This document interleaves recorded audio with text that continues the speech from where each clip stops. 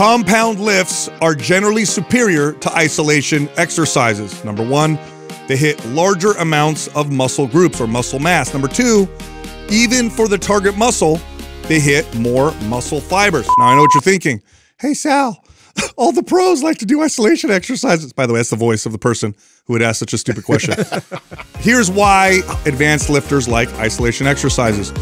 Over time, you can train your body to activate more muscle fibers with isolation exercises. Now, when you do compound lifts and you activate more muscles, you tend to do that on your own. Here's a test squeeze your hand as hard as you can, but keep the rest of your body totally relaxed. Now, repeat it, but this time squeeze your whole body. Did you notice you squeezed harder the second time around?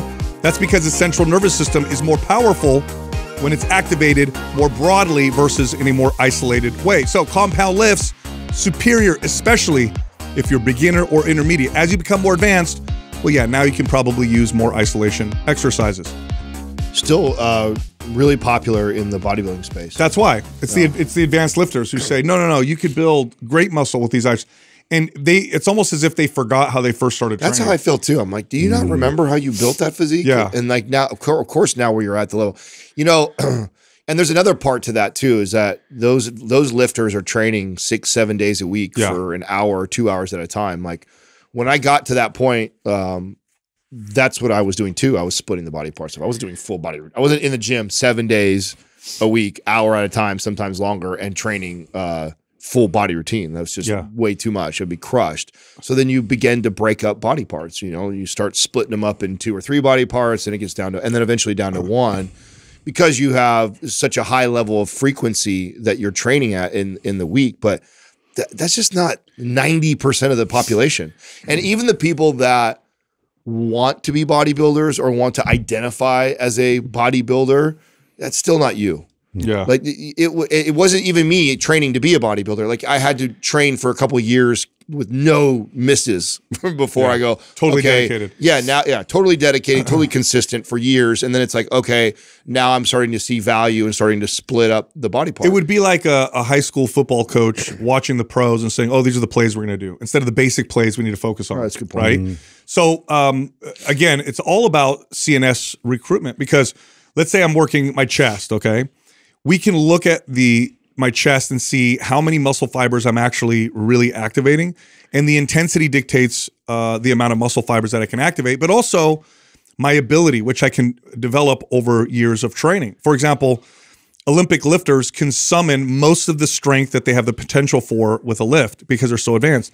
The average person, even if they try their hardest, isn't able to do this. There's, there's governors in the body. Now, you can bypass those governors under extreme emergency situations, which is very rare. That, that's the story of like the mom that lifted the burning car off her kid type of deal.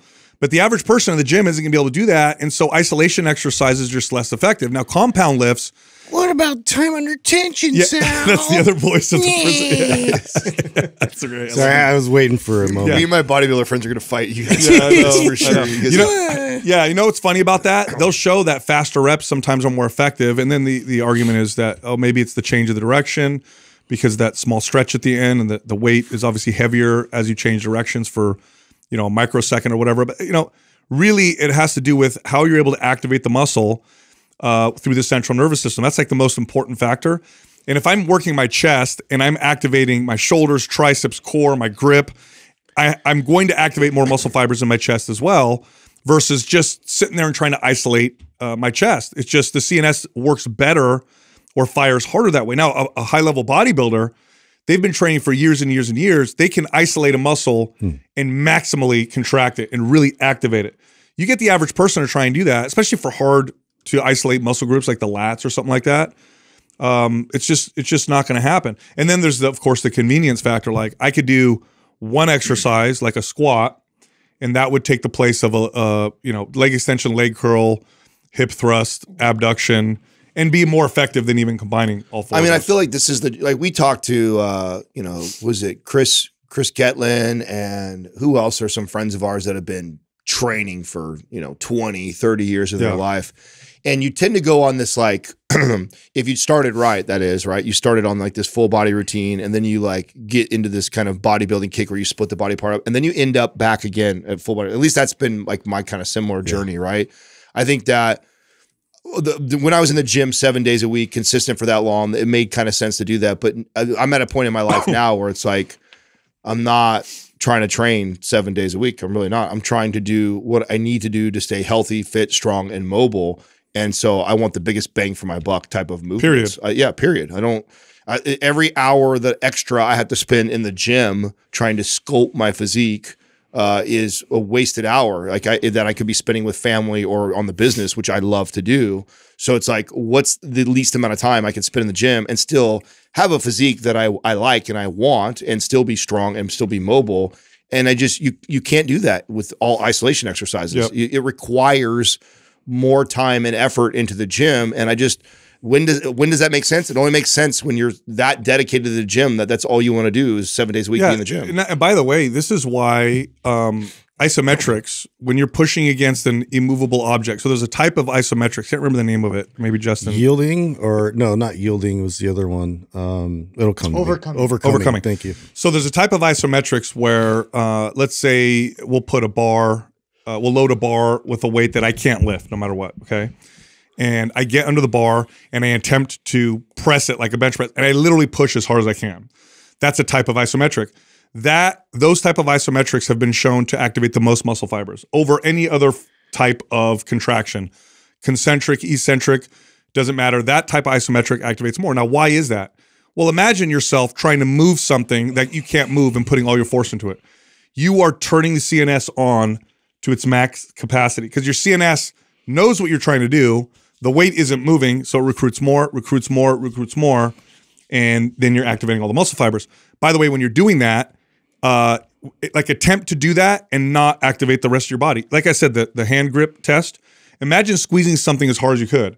You naturally will grit your teeth, yeah. squeeze your other hand, squeeze your entire body just to exert more force because you know that naturally you know that that's going to give you the most amount of force versus being totally relaxed and just squeezing my well, hand. To me, it's uh, I guess I look at it uh, obviously from like more of a functional, like athletic perspective, but um, in terms of anchoring your body and and to to be able to kind of squeeze a muscle and, and do that without anchoring your body in you know in, into the ground or you know uh, to an object or or whatever it is like you're not going to be able to produce as much force. There's it's just no way. Once you learn that process of like really grounding yourself and and becoming immovable and uh, uh two this is this is one of those things where like anti-rotation and um things that uh, against lateral instability like we we can learn how to kind of ground and and and fight those forces that are opposing us uh, we become more powerful. You'd be able to generate more force. And it's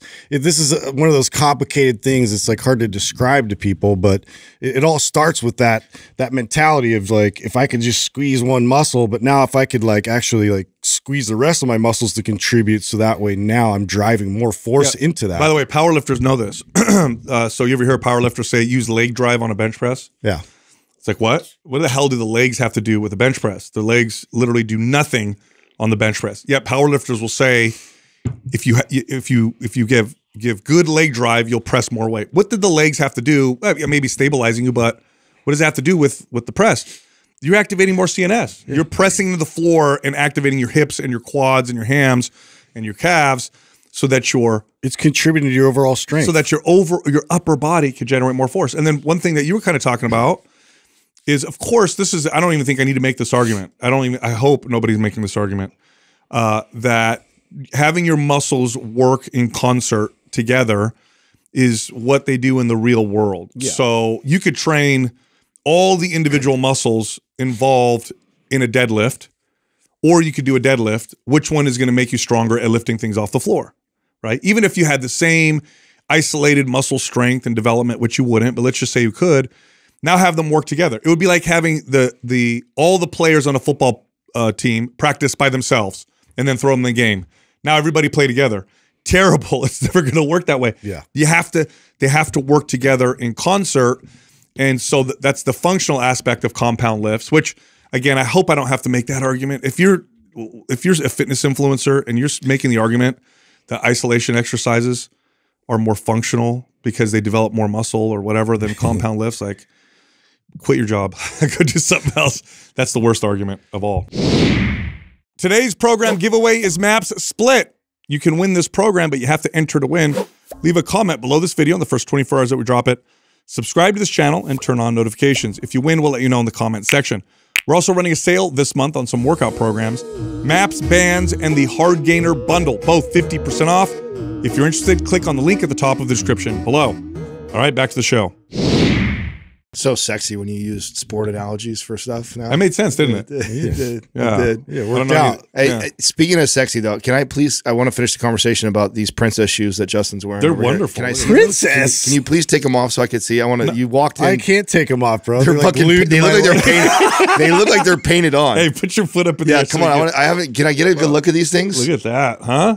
They're okay. So what are they called? They're called Nike. What? I don't. I don't know the name On the box even said- specifically, but it did say said- racing. said racing. And that's why you bought them. Yeah, I It bought just, 'em 'cause- it just said fast. Yeah, man. Hey. I- like I'm Hey, trying do- to be fast do again. do do the foot motion you said they're going to generate. Look at that, dude. I've never seen those Sick. before. You know what they remind Are they new?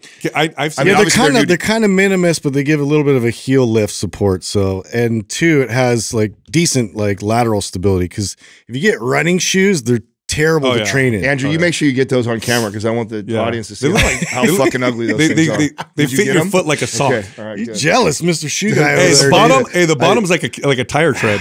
Look at that. that? Maybe they are fast. They feel good, Yeah. actually. yeah, that's cool. Look Yeah. that. They do kind of look like those uh, You know what they remind Ferrari me of? shoes. Can I tell you what they remind me of? Okay, there they are right Oh, there. they are. Yeah. Oh wait, they're unisex. Oh, that's okay. good. Well, Oh, that makes sense. Good. I'm glad. Do you know what they? Uh, They still have a couple shoes. sizes left. yeah, there's still a couple sizes left. you know, hey, Looks like- Oh man, I didn't know hey, that. Mostly, hey, mostly the men's sizes are left. I see. Why am I attracted to unisex shoes? Because I wear Chucks too, and those are like. Oh, stop trying to call out my. Uh, I'm listen, just saying. listen, I've seen these shoes before. You have? Y- but they look a little different. Doug, look up ninja shoes. type type in ninja shoes, bro. look at the They are ninja. look at the ninja shoes. Ninja, Tell me they don't look the same. Hey, bro, Sal's so happy right Hey, now. look. This is not him. Oh, they are like oh. ninja shoes. The only difference is Shut the, up! It has like a slit in between the toes. That's that's not accurate. hey, ninja shoes look like a vagina. Why do they? Oh, that's Yeah. for gripping trees and stuff, for climbing stuff. Uh, hey man, yeah. you, you wear basketball shoes and you don't even play anymore. So what are we talking I about? still, I still identify as I still identify, I still identify- identify as fast. So that's where I'm going with this. I don't identify as shit. What the hell am I? Hey, you know, that's that's hilarious, dude. Hey, that's, hey, but listen, Uh, but listen, are those unisex, Adam? What? They're not, right? I don't see guys some chicks rocking those, dude. I don't know. Hey, the shoes that I used to wear, you guys used to make fun of. Remember Yes. the the, uh, Sambas? Yeah, indoor soccer shoes. Yeah, yeah. you guys used to make fun of. Guess what? Kids are wearing now. No, Sambas are all. I should have never. No, they're Samba. not. Yeah, they have always been. I've always. Just, That's not what you said when I, I know. I just like fucking with you. That's why Sambas are. I have Sambas. I told you for my my snowboard boots. Sambas are Sambas are cool. Even It's when like- I wore them. yeah, but Yeah, you have to like spontaneously juggle a soccer ball. But yeah, you've never. Uh, you, know, have like, never to- have played to soccer. that, so, so- like, it's like that's why I make. Wait, fun hold of on you. a second. you Hold on a can't do that. You can't wear Hold them. on, my mind's blown right now. You mean when I was wearing them, they weren't actually dorky? They were cool. You're all right. Yeah, they were. You was just fucking You with guys me. lied the whole time. Yeah. Oh my god. 100%. This is terrible. Try to think. I can't trust anything. Chucks is the safe. Yeah, you guys. that's Dude, the safe Chucks are the most universal. I, you know what? I think they're actually the most sold shoes ever. I don't think anyone Really? Yeah, they might even be. Up You know there. what trips me out Jordans about Chucks? are up there too, right? But I think Chucks are up there. Do there. you know what Yeah. Chuck, trips me out about Chucks? I watched the first Rocky when I was a kid. I can always go back to Rocky, right? Anytime I talk about anything. I watched the first We'll Rocky. talk about Star Wars next. he wore Chucks in his morning run, running on pavement early in the morning. Remember, he drinks the eggs and he goes for Yeah, a run. yeah, yeah. So I watched that. I'm like, bro? That's like the universe. That was I'm the like- that was the original NBA shoe. Bro. Wil- Wilt Chamberlain was. yeah, that was the that right? was the Yeah. NBA shoe. you ever try to go running in Chucks, bro, on the street? Oh, oh. Especially when you're not a Oh, runner. running is no That's fun. it. That, in is that the number one sold shoe? Nike Air Jordan 1. Yeah, that's the original. Oh wow! Chuck Of Taylor? All Stars number two. number two. Look at that. J- Jay's and, and Chuck Taylor's. Look at that. Wow, Air Jordans are like there's like four of them. Do you remember that? You, you guys, you remember the ad to these? Do you guys know the story behind these? Which ones? Those Jordans, those Jordan ones. I don't. So this is what made these go so viral. Okay. the NBA only allowed white shoes. Oh, And they didn't they didn't ban they banned these shoes. So And he, put, they he paid a fine Alright. each time. yeah, and that was the advertisement. These shoes are are illegal for the Yeah, NBA. it's like that was like the Wow, that's smart. Yeah, look it up, Doug. Like I wish they, there's an ad still for like look for the original Jordan One illegal shoes, uh, uh, NBA illegal shoes, something like that. Search. That's got to be the smartest ad. oh, it was the most ever in my life. brilliant ad campaign uh, campaign ever, and it was perfect. They were like, "Oh, this is so great." The Wow, NBA is fining him for wearing these because they're all black, and we're going to say they're they're too hot for the They're NBA, too effective. and that, that it went. That gangbusters. is the smartest strategy I ever heard. Yeah. And then of course now it's an iconic fashion brand, right? Or fashion wear, right? Okay, here you go. Here you go. See if you can. Oh, they're like censored. See if you can. Is do this it here? I yeah, don't. tr- tr- yeah, do it. See it. Oh, the Looks like- commercial. I Yeah. want to see it. yeah, run it for the guys so the guys can see it. Oh, I don't know if it's a video here. Oh, nice. Uh, I just look looking. Andrew, for you the- helping uh, Whoa. George, uh, Doug over here?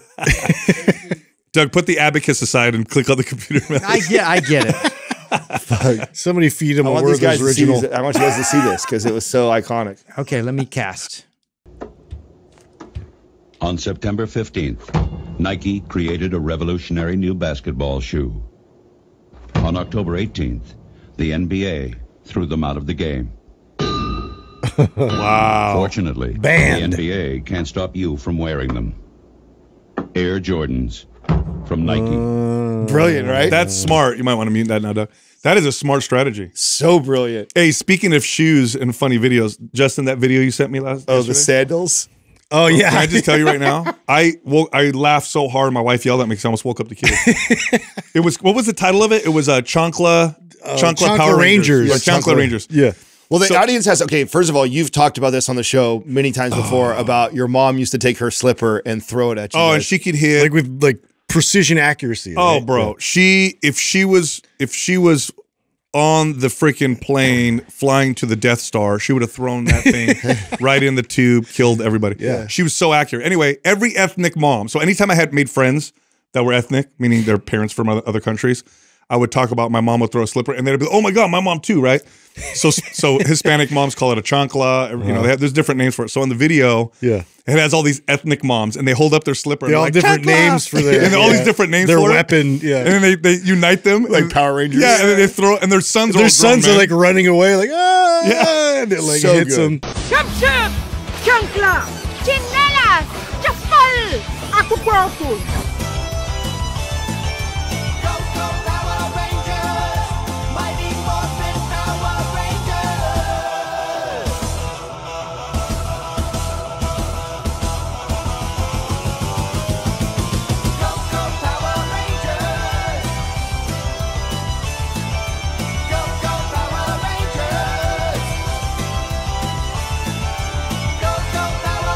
And they're like grown So men, like my age, they're all getting hit by so them. good. Oh, that's So so, the best part is he sends that to me. Right? I'm dying of laughter. So I send it to. I have this huge family thread with all my aunts, my mom, my you know my cousins, uncles, and I send it over. And I'm like, I wonder if my mom's gonna get mad. No, not only did they not get mad, this is They're this- all proud? bro. This is like a, a source of pride, apparently. I sent I sent it to my family. Listen, listen, I'll read to you guys what they wrote. And then my aunt comments. She goes, "Your mom was the best aim." And then my and then my other aunt replies, "Um, Paula, that's my aunt's name. Mom would say, "Go wake up your sister," and I would go in carefully because you would reach down and throw your shoe at me. Then my mom starts laughing at her. Then my other aunt goes, "It must run in the family." Then my mom goes, "It's a talent," and everybody's like, "Yay!" Meanwhile, all the kids are all traumatized. High five. Why are you guys laughing about this? still I told you remember guys. getting hit in the forehead. Oh, dude, I tell you guys how my uh. mom she got my brother at the grocery store because he was he was terrible. By the way, my brother he, he was a he was a good kid, like loving, happy. We used to call him Joe. We still call him Joker because he's always happy and always in a good mood. But he was a terror because I don't know. It was like it was like you put. It was like he never ran out of energy. He was always climbing, doing. You could not take your eyes off him. Just Well, anyway, high boy energy. he had a, he has a son that's just like him, dude. Just like him to the point where they have to gate every part of the house, but they have to figure out special ways to do it because this kid Yeah. at two years old will climb or or dismantle anything. He took his walker. Nobody knows how he did this. Went up the stairs at their house. Don't know how they got through the gate. Threw it off the balcony onto the floor where his little brother was, which he missed his little brother. They all freaked out because they didn't know what it was. It was him. So I'm he's telling the story, and my mom's like, She's like, that's what you get. you got your own. You, you, you- you got one of your own. But anyway, Karma. we were at the grocery store, and my brother was probably I don't know how old he was, four maybe, and he he escapes somehow because it was my job to corral him, and he starts running down the aisles, and he's just knocking shit off the aisle. He's. Just smiling. and Yeah, just, ah, yeah, and fast, right? And my mom's like, "Get your brother," you know. So I'm trying to chase him, but he's hella fast. She's like, "I'm trying, I can't get him." So she takes off her her slipper and she, she whips it, hits him, he falls. Ah. In the grocery store, another mom gave my mom a dirty look, and my mom gave her a dirty look, and she looked at me. I'll Say never some forget. shit. I dare you to say Yeah, I'll throw the other. I got another shoe on. Meanwhile, I'm sure she was just like, Yeah, just like this was locked and loaded. I'll just never forget because he's running, you know, and it just right in the back of the leg he falls because I couldn't catch him. Terrible, and they're all laughing about it. Chancla Rangers. Anyway, it's good stuff. Hey, speaking of training kids, I just saw a clip of uh, Jocko. Oh, it's a good clip. It was. It was. He's talking about um, training your kids, and he's talking Just teaching them, right? Yeah, yeah. Well, he's talking to two other fathers and, and making the comment about, hey, by six years old, your kid should be making his lunch for school. Yep. And both the dads were like, oh, yeah, What? no, my son can't make his lunch like that. And he goes, oh, so you're letting him suffer then? And they were like, well, well You're making him dependent. yeah, yeah, you're making him dependent then. Your kid, maybe six or seven years old, they should be able to make their own lunch for school. What do you think? Six years old, make your own lunch. My boy will not can't make it. He's sick. What if you trained him? Yeah, I, I could train him for sure. So right now you're just letting him suffer. yeah, that's one way to put it for sure. No, I mean you're letting you're making him come dependent. Yes, that is one way to put it. And so then he goes into like that. Tra- I mean, he goes, the training starts now, you know, right away. Like by six years old, he should be have figured it out by and doing it on his own. And if you're not, then you're becoming he's becoming dependent on it. By the now, way, who do you think has a harder time with that, the dad or the mom? oh, That's a good question. That's a good Justin. question, That is a good question because there's certain things that uh, I'm I'm probably more like that, and and Katrina's like, oh, it's it's fine. Like she likes doing those things, right? And me reminding. I mean, example, right? I wonder if nutrition you're more strict because of your background. You know, Is she more loose or no? No, Katrina's adopted that too. She well, yeah, I would say she's we're Well, you guys are both very fitness oriented. yeah, I, yeah. I think we're pretty both uh, pretty strict about like what he because I could see that going either way with a couple, right? Where one guy, one side is like, Yeah, no, that's no. unhealthy. Yeah. I would say she does. I, I would. Justin's probably right with that assumption, or that I'm assuming that's what he's alluding to. Is she is more likely to do things for him longer than what he needs to have done. Like for example, like that was when I look back and I say if there was a mistake that we made uh, with with Max so far, it was um, feeding him. So, Oh, at the- and at that time, I, I was even I was unaware of like the research around how them lear- feeding themselves, how that develops the speech, and the half of why. speech, their teeth, their yeah, my son's my son's delayed on his speech, and it's our fault. Mm-hmm. It's like our fault because, and it's our fault because we didn't want to mess. And I and, and Katrina did it, and I didn't push back. I didn't be like, "You got to do that for these reasons." I was just like, I would tease her and be like, "You're gonna be cutting my son's steak till he's 18. You keep feeding him like that, right?" So I used to tease her, but I really didn't care. I wasn't like I didn't bring to her like, "Hey." If we do this, you know it's going to slow down his speech. wave. So that's an example of that. So yeah, I'd say, but she's really good on other areas. Like right now, he has to get ready for school and she makes him do everything. Like he has to, I mean, she does pack his lunch. So I guess we could start to, I sent her that video. So like maybe we start to implement some things. But I mean, as far as like getting his shoes and getting his outfit and brushing his teeth, like that's all on his responsibility. So. Jessica's like, she's so good at this, and because a lot of people are like, well, how do you let your kid pick their food? They're gonna eat gummy bears and you know candy all day long. No, no, it doesn't work that way. So like, here's here's what she just started doing, which I think is brilliant. I'm already watching it in action.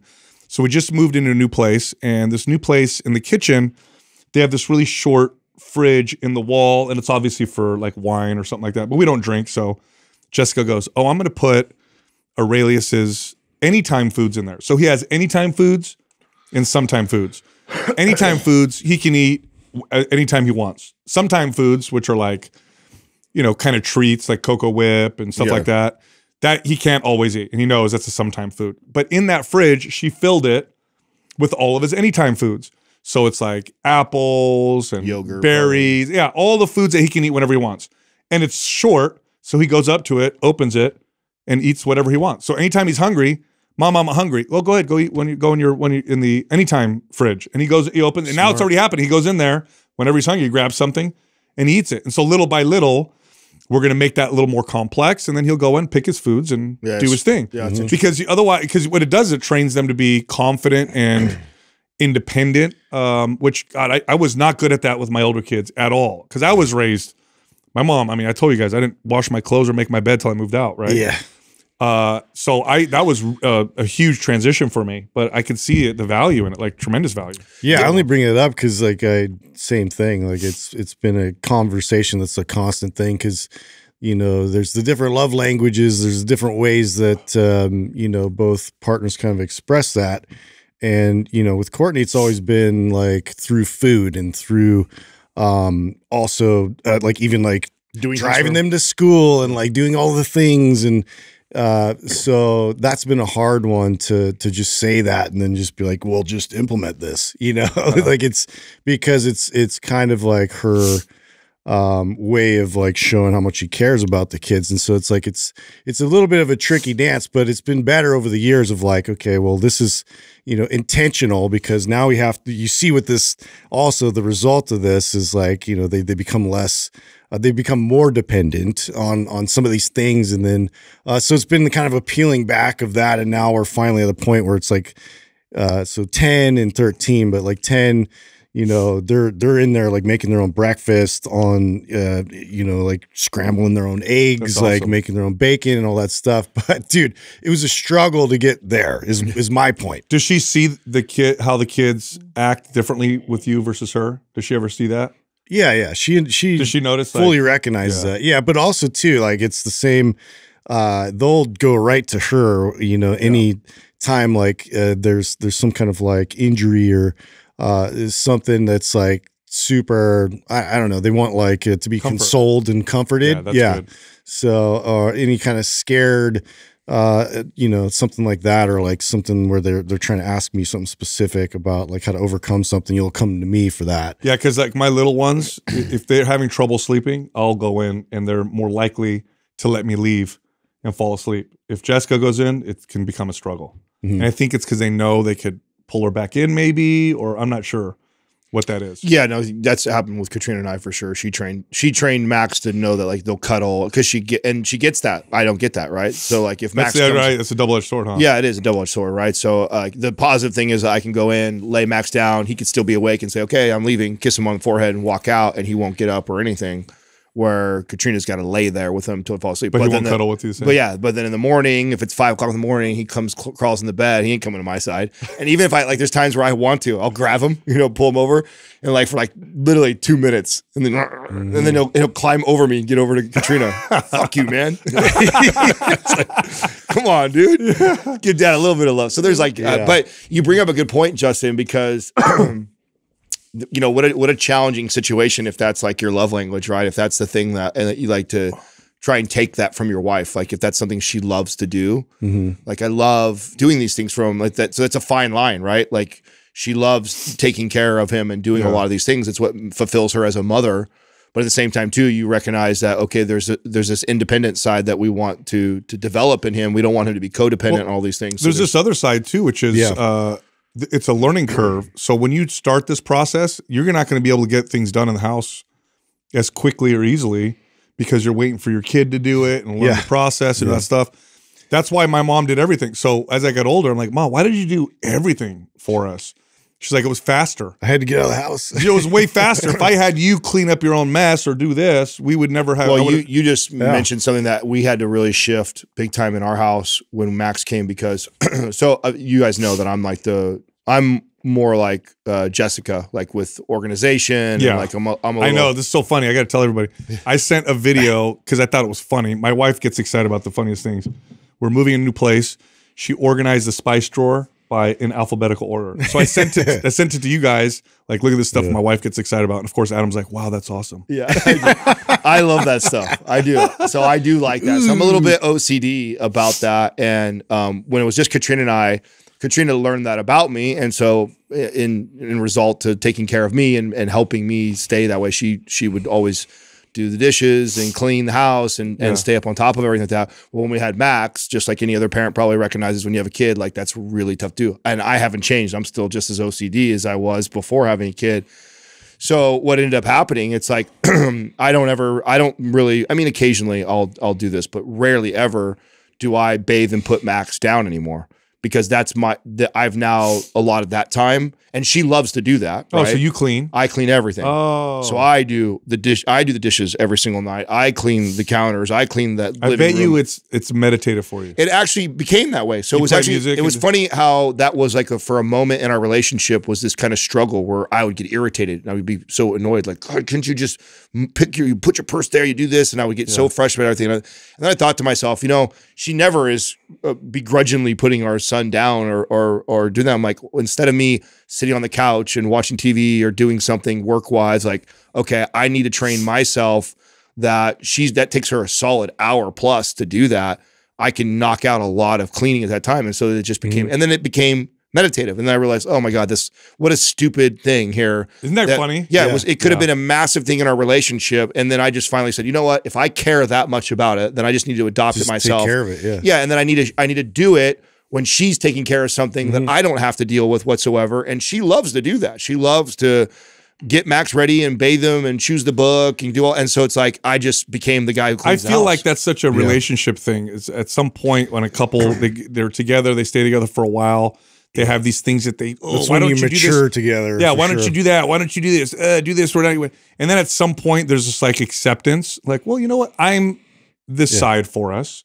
You do this side for us. Yeah. yeah. And okay, And division it's- of labor? It yeah. was You such a, accept it It was it's all such a good. dumb aha moment for me in our relationship because it's like I care so much. She doesn't give a shit about that. Yeah. Right. Like I care so much about that that what am why am I putting that on her? Yeah. Mm-hmm. Like it's not like she doesn't do a lot of other things. So I just need to train myself to Totally. recognize when she's doing those other things that maybe I don't do or I don't like to do. I got to step up and do those things that I, the way I like my house. Jessica reached out with me where um, and this might be a surprise to you guys, but I'm I'm a bit um, absent-minded and not very organized.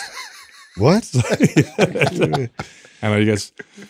I know you guys give me shit for it. Anyway, she, uh, she uh, she reached a point where she's like, Surprising. "Oh, like you're just you're not not being you're not just you're not trying to be like a jerk or whatever. You literally are just super absent-minded."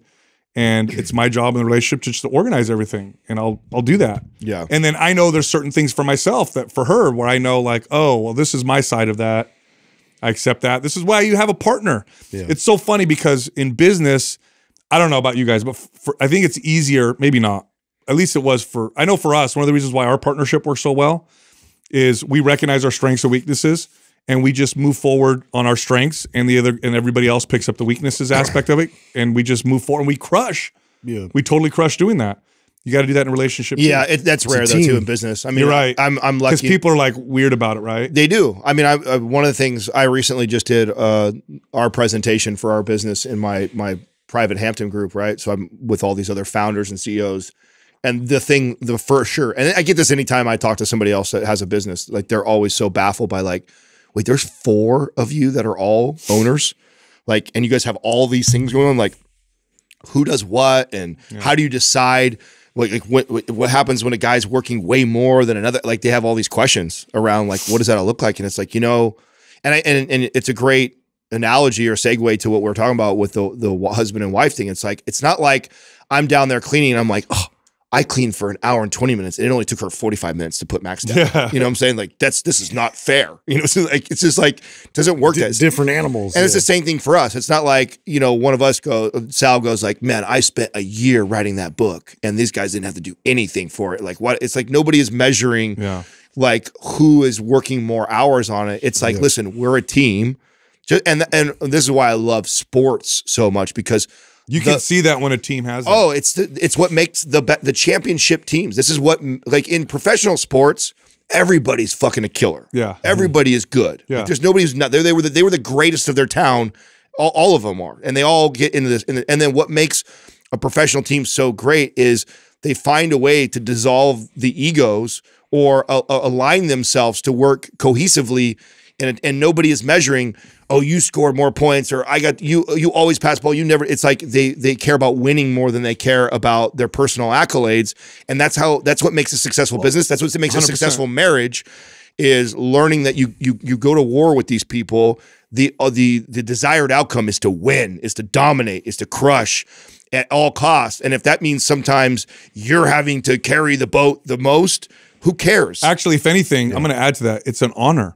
The Yes. attitude is when you're in that position and you feel that way about the people you're working with or who you're married to, and you're in that position, it's not a, well, it's my turn to shoulder the burden. It's more like a, finally, I get to provide this. This is an honor. I get to do this for these people.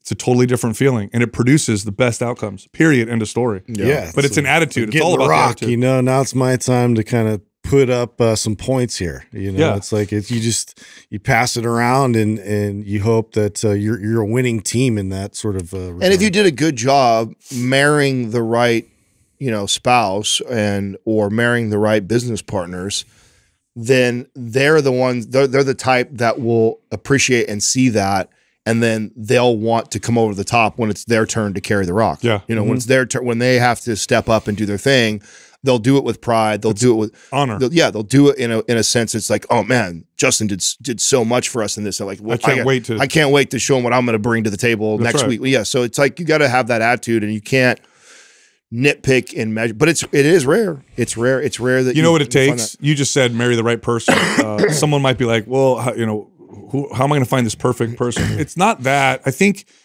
the thing you want to look for is are they growth minded? Are you with somebody or are you partnering with people that are growth minded? Because you're going to encounter lots of challenges, and a growth minded person is going to try to figure out how they could grow and evolve to work through these challenges. Somebody who's rigid, Yeah. when the challenges come, you're screwed, you know. But like I, know you guys are, oh, we're all super growth minded. So every time we mm-hmm. hit a challenge, everybody's trying to figure out, okay, how do I get better, or what can we do to move, you know, through this challenge? Oh yeah, that's, that's like a the key. Huge red flag. If you're like in the dating circle right now and out there trying to find a partner, and you you're going on dates and you're hearing the person sitting across the dinner table saying things like "I am this way" or Yeah. "These are the things." Like super rigid This, yeah, this is the the way. way This is just how I am. Yeah. this is just how I am. This is you're like. Oh shit, you run, bro, run away. Something like like that. It's just like that. You don't even want to try and be that person. You know what I'm saying? Even if it fits what you think is uh, uh, compatible to you. People that say stuff like that are just not growth minded. Like you, Plus I, you identify as this character who only does this thing. It's like, dude, you're not growth minded. Plus, you're you're assuming if even if they did fit you perfectly, you're assuming that you're not going to change.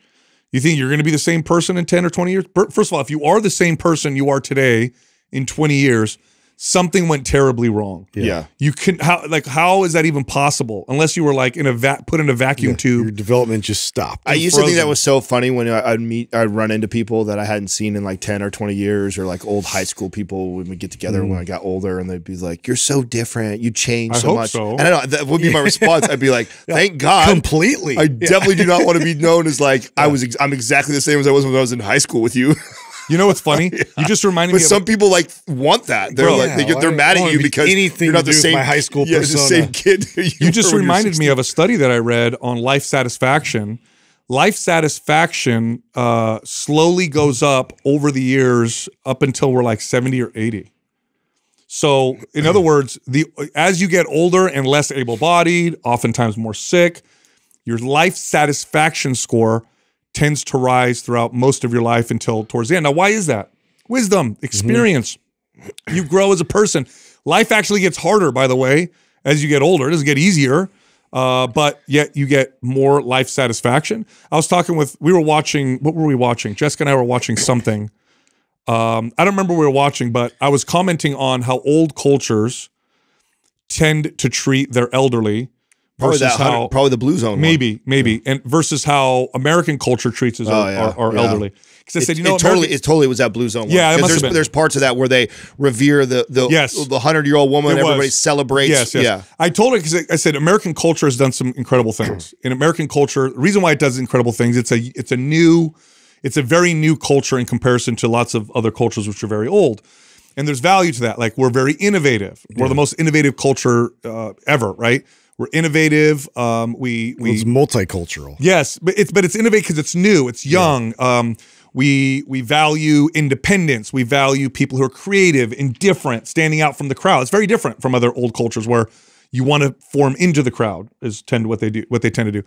But one bad thing is we don't revere our elderly. You go to old cultures, go to China, Japan, go to the Mediterranean, and the Oh, elderly are the oh, if you're yeah. sitting on a bus and somebody older than you standing up next to you, even if they're able-bodied, you sit, you let them sit down. Otherwise, everybody's looking at you like, "What's wrong with you?" Right? Yeah. You want to listen to the old person's story.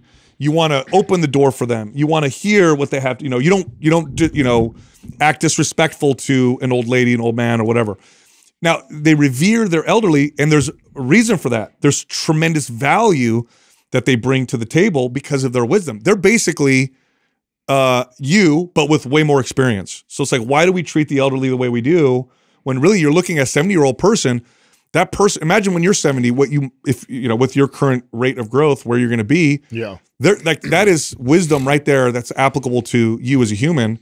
Definitely tap into that. you Yeah, know? no, I I agree. I, I've told you guys before. This I, it was actually a really uh, it's a strong memory I have as a trainer because I it shocked me, and I, it was when I was running boot camps. At that time, I had like I don't know 20, 20 or so people that were in this camp, and I used to love to talk to them uh, for the same reason that you said, like because they were all advanced age, right? I was they were the youngest person I think in that class was fifty. You know, or late forties was the youngest, uh, all the way up to like seventy something Yeah. years old. And you were in your 20s. Yeah, I'm in my 20s at this time. and I remember uh, you know, going like, you know, to asking them stories about their lives and stuff like that. And all- in the in the group, I've got everything. Everything from people that had five, six kids to older people that only have one kid or no kid, or like kids are all way grown, still growing, uh, raising kids.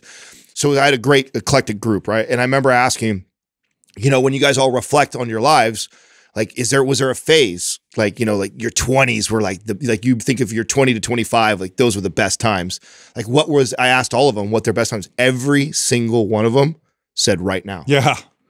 and i thought that's and i'm looking Yeah. at and then it's like 70 year olds that can barely squat and move and like you know i'm thinking they're like retired and just kind of do their thing i'm like really hmm. every single one of them said right now mm-hmm. is the best time of my life like i'm I, I thought that was really fascinating but it highlights Yep. the point you're making right now is that, and and, I, and of course I inquire, like, what do you mean? Like, why why now? Why not when you were 30? And I'm like, wow, you know, you're more established, you're much wiser, you're calmer about these things. You've settled in with your life partner. kinda seen you, it all. You've raised your kid. Like, How funny is it that that we believe the opposite? We look at media like yeah, we you- think youth is so. Well, look, it- based on media, who would you think has the best sex?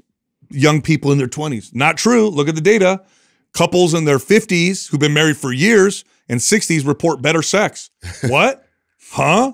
That's the truth. Mm-hmm. So it's like so distorted. Why is it so distorted? Because youth and sex sells. So we get this distorted image of what's important. Just like the fitness industry, right? They make money off supplements. So if you just looked at the industry and the media, you would think that supplements play a much bigger role than they actually do. And in fact, they make they play almost no role in your progress. Yeah. It's the same thing with the media. It's all about youth, about sexy, about hot, about buying things. So you think, oh, this is this is what life's all about because it's presenting this image and it's distorting reality. Reality is those things are not important. And, the, and then like the sex part, it gets better as you become old and wrinkly, which Yeah. is which is you know. Ironic. I know, I know. We just don't want to watch the videos. There's a little bit of a yeah. Yeah, just it's like I tried it. I tried. I couldn't get for me. into it. Uh, Adam, I wanted to ask you how your abstinence from cannabis has been going. Yeah, I've been uh I've been super consistent now. I'm over over a month. It's been over a month that I I haven't not bad. I you know it was interesting. I had a week last week, just a lot on our, our plate with uh business and some personal stuff. Good all good stuff though, like good personal stuff. So, but it was keeping me up at night and I was having hard time and Doug heard me and he's like Hey, have you uh you tried the Ned sleep? And I'm like, yeah, yeah, yeah. I'd like totally discounted it. Yeah, yeah, no, I've done that. I'm doing my mellow. I'm doing this. I'm doing. I'm like, I'm doing everything, right? I'm doing everything. And I'm still not sleeping well right now.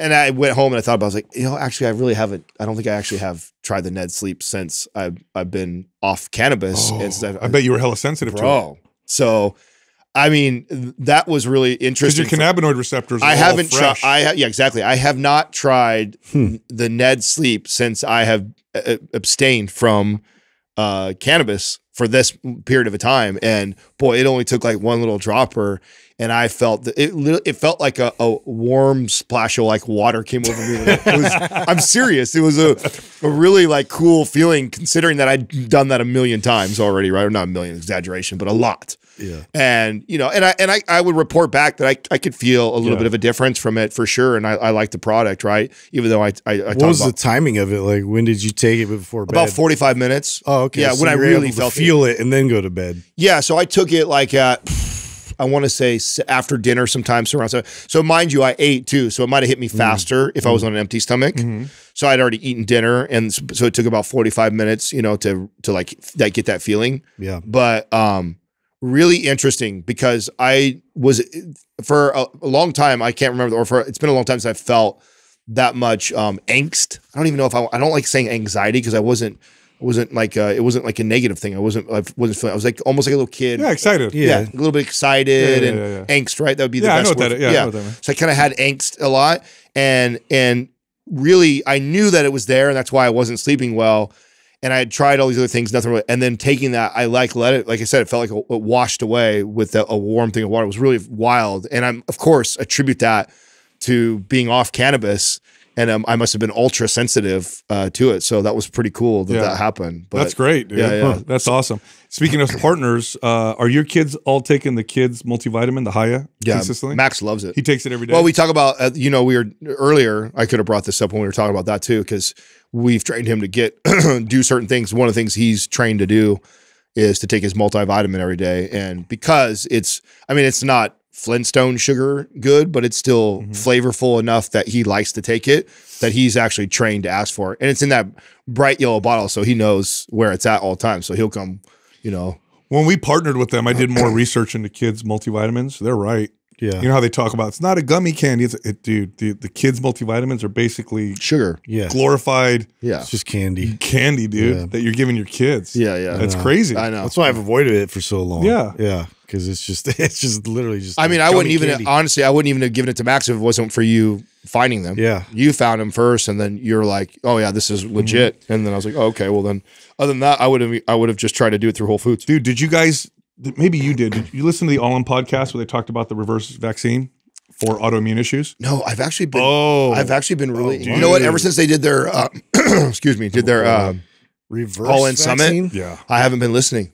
No, it's an inverse vaccine. They call it. Okay. Uh, What is that? bro this is okay so autoimmune issues are like the bane of western medicine right now right like multiple sclerosis crohn's disease rheumatoid These arthritis are all the chronic issues. Yeah. Psoriasis, really have like- good answers for. the only options we have are to systematically or generally depress the immune system okay so let's bring your total immune system down so you don't get this hyperreaction. but that's not good either because you have all kinds of potential negative and sometimes really bad effects from depressing the immune system. Everything from like increased rates of cancer to lots of other diseases because you need your immune system to be functional. By the way, an immune an autoimmune issue is when your body recognizes a protein in your own body as a foreign invader and attacks it.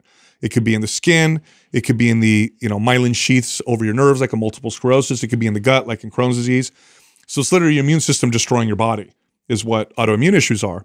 Um, and uh, autoimmune, you can kind of loosely put food allergies in that as well, where your body identifies uh, something that shouldn't be considered a foreign invader as this thing that they need to mount this crazy attack on. Well, anyway, they've taken these a vaccine, and what they do is they they use uh, like a glycolytic, I think, encasing, which is basically like a sugar molecule, and they put this in the liver, and the liver takes this in this protein. So let's say it's a you have a skin issue. They'll take the protein that your body's identifying as a um, foreign invader. They'll encase it in in I think it's a like a glycolytic encasing. They bring it in the liver. The body then goes, "Oh, this I guess isn't a bad. This is not a bad protein. Okay, shuts it off." They did this in mice. What? They did this in mice. So they can genetically modify mice to make them develop things like multiple sclerosis or other diseases. So they know like these are all going to get MS. They gave this inverse vaccine to mice. No It reversed MS. it? What? Yeah. What? so How is this not like This is on the mainstream? It is. It's going crazy. Okay. This is going all over the place. So it's pretty crazy. so it's able to kind of sneak past that like aggressive like defensive response from the immune system. Yes. So now your body. So they. So they, this is what they do. They take a special group of cells in the liver that present antigens to T cells and tell them that they're safe. So the liver has these special cells because while it filters blood, it must also differentiate between dangerous foreign antigens, like from bacteria, and safe ones. So your liver already po- possesses these cells that can say, oh, these are safe, basically. So it's using this natural system in the liver. And they did this with the MS and it worked. Bro, that's so that's amazing. awesome. now, man. like, I mean, so this is this could be the beginning of a com- total revolution. yeah, with whole new auto- class of medicine. then. Yes. yeah. now okay well okay okay let's play let's play this out um you get this okay let's say i, I get this right it Yeah. reverses psoriasis now what i would predict would end up happening is these people having to use this quite frequently because we know that if you go and binge eat again and you have potential a leaky gut Oh. that those proteins could leak into the bloodstream again and then i would think could So that's different than autoimmune, right? Food intolerance. isn't that how it comes isn't that how it starts though? No, no. Autoimmune is. Uh, we're not quite sure what's happening with autoimmune issues. Like, why is your body recognizing your skin as a foreign invader? Hmm. Yeah, As- why is it this- target what it targets? Yeah, or the or the thyroid, right? With like Hashimoto's, right? So this is different. I my I don't know what the side effects are going to be or the potential effects. Maybe I don't know. Who knows what the potentials could be? But for now, this is the first time they've ever been able to get these like mice to like not get MS, Hmm. and they're supposed to. So it's a huge, it's potential, right? A huge potential. But this could be one of the greatest breakthroughs Oh in my modern god, medicine. autoimmune. I mean, how many? What's the percentage of people that suffer from some? It's growing, yeah, too. it's got to be huge these days. Yeah. It's growing, and the treatments are terrible. I have a family member with Crohn's disease, and it's so bad that they have to do a form of chemo So you, in order to get their have you heard me talk about the research that's on uh, on uh, childhood trauma related to autoimmune? Yeah, that, that's interesting to me, right? So Yeah. if that it, like, there's got to be some sort of correlation to stress, of course. and, and obviously we know that stress uh, like triggers it, right, Yeah, to flare up if you have any sort of autoimmune issues. But it's interesting that more than 50% of people that have suffered from childhood trauma also have autoimmune I issues. think it has my guess, my theory. My theory is that if you mentally view yourself uh, as the enemy, as bad, as not good, as garbage, eventually your immune system will follow. Mhm. That's my theory. So, and if you're going through a lot of trauma as a child, children are programmed to internalize. You, you- if, if there's something wrong with your caregiver, it's better survival for you to believe that it's you so that you change and Yeah. fix something so that you don't get tossed aside or whatever.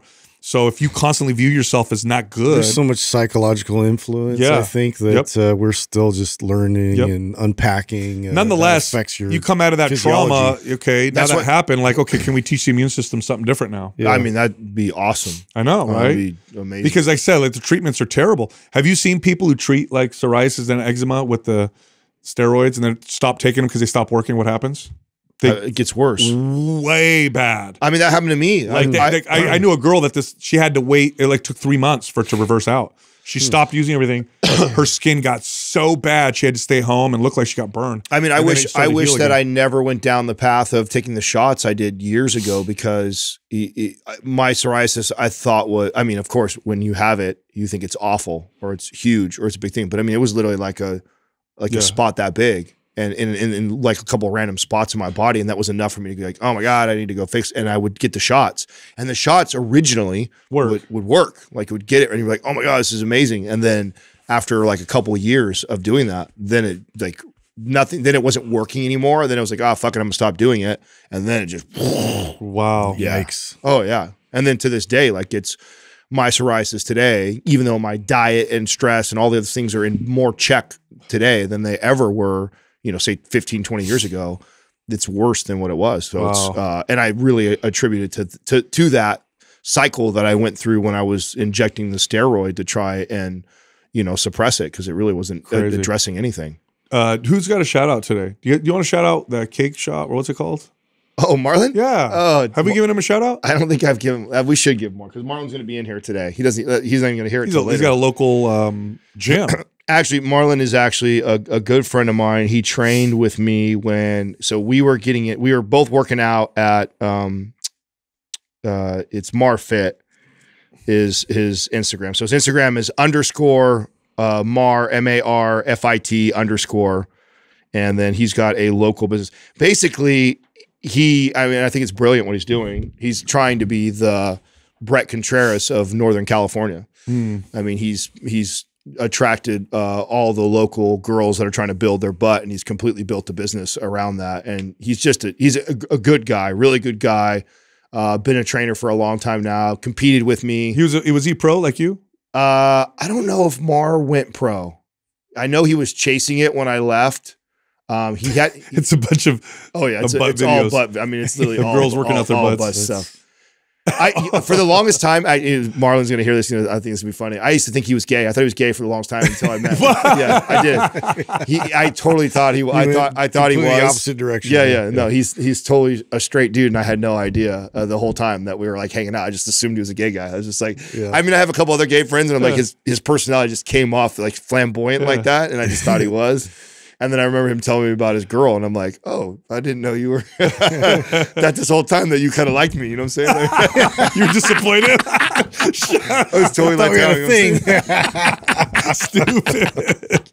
oh, you like my physique? Thanks, yeah, yeah. So shout out to Mar, dude. Much love to him. He'll be in here today. So, and he's got a he's got a great little gym too. Joy Mode was created because the products in the market are terrible and they know they could do better. What products? Products that help with blood flow and quality erections and libido and sexual performance. This is a natural product with substances and ingredients that are backed by science. Check them out. It actually works. Check them out. Go to usejoymode.com. That's use, J O Y, mode.com forward slash mind pump. Enter mind pump at checkout and get 20% off your first order. All right, back to the show. Our first caller is Susanna from North Carolina. Hi, Susanna. How can we help you? Hi, hi. Very weird to be talking to you. Um, but I'll get right to my question, but I do have to start by saying thank you. You three have made such a crazy impact on my life. I I can't even begin to say thanks, but I'm going to anyway. So thanks to you three, to Doug, and to everybody that works so hard behind the scenes. It's much appreciated. Thank, you. Thank you. Of course. So, kind of in summary, my question is how to approach MAPS Anabolic, which I assume is the right program for me. Given my main goal is kind of regulating my hormones, my cycle, and of course, also focusing on improving strength and muscle composition. So, just a really brief background. I'm 25 now and I've been a competitive athlete for the majority of my life. So, I was a swimmer and then a collegiate mid distance distance runner. Um, and I was pretty classic overtraining, obsessive exercise, under eating, and I ended up losing my period for about seven years completely. Now, over the last year, I'm in a much better place. So I found you guys about a year ago, and I have since started focusing on strength training, which I've always loved. So it's really nice to be back there. Um, and I've definitely still been overtraining, but but I've been mainly focused on strength training, really cut down on the cardio, eating a lot more, and I've seen so many benefits both physically and mentally, which has been awesome. Um, and I have gotten my cycle back, but it's extremely irregular. Some days or some months it just doesn't show up, and it's just kind of all over the place. Uh, so, with that being said, kind of currently, after some pretty heavy hinting, my husband got me MAPS Anabolic for my birthday, which was awesome. I went through the pre phase. I did do some weeks where I made it a, a three day a week workout just because I wanted to be in the gym a little bit more, but I liked it so much. I did it five weeks, but then I hit pause before going into phase one because I was a little bit unsure how to approach it. So that kind of brings me to my question, which is kind of two questions, but the first part is I'm not sure whether you all would recommend I do the two or three day a week foundational workout. The main reason I would want to do three is just because I like practicing the big lifts more than once a week. Um, and then, kind of with that, I've started enjoying sh- somewhat shorter workouts, so like 40 minutes as opposed to 60, 70. So I don't know if you'd support me maybe splitting one or even two of the workouts up over the course of two days. So that's kind of the first half. And then the second half is just a quick add on.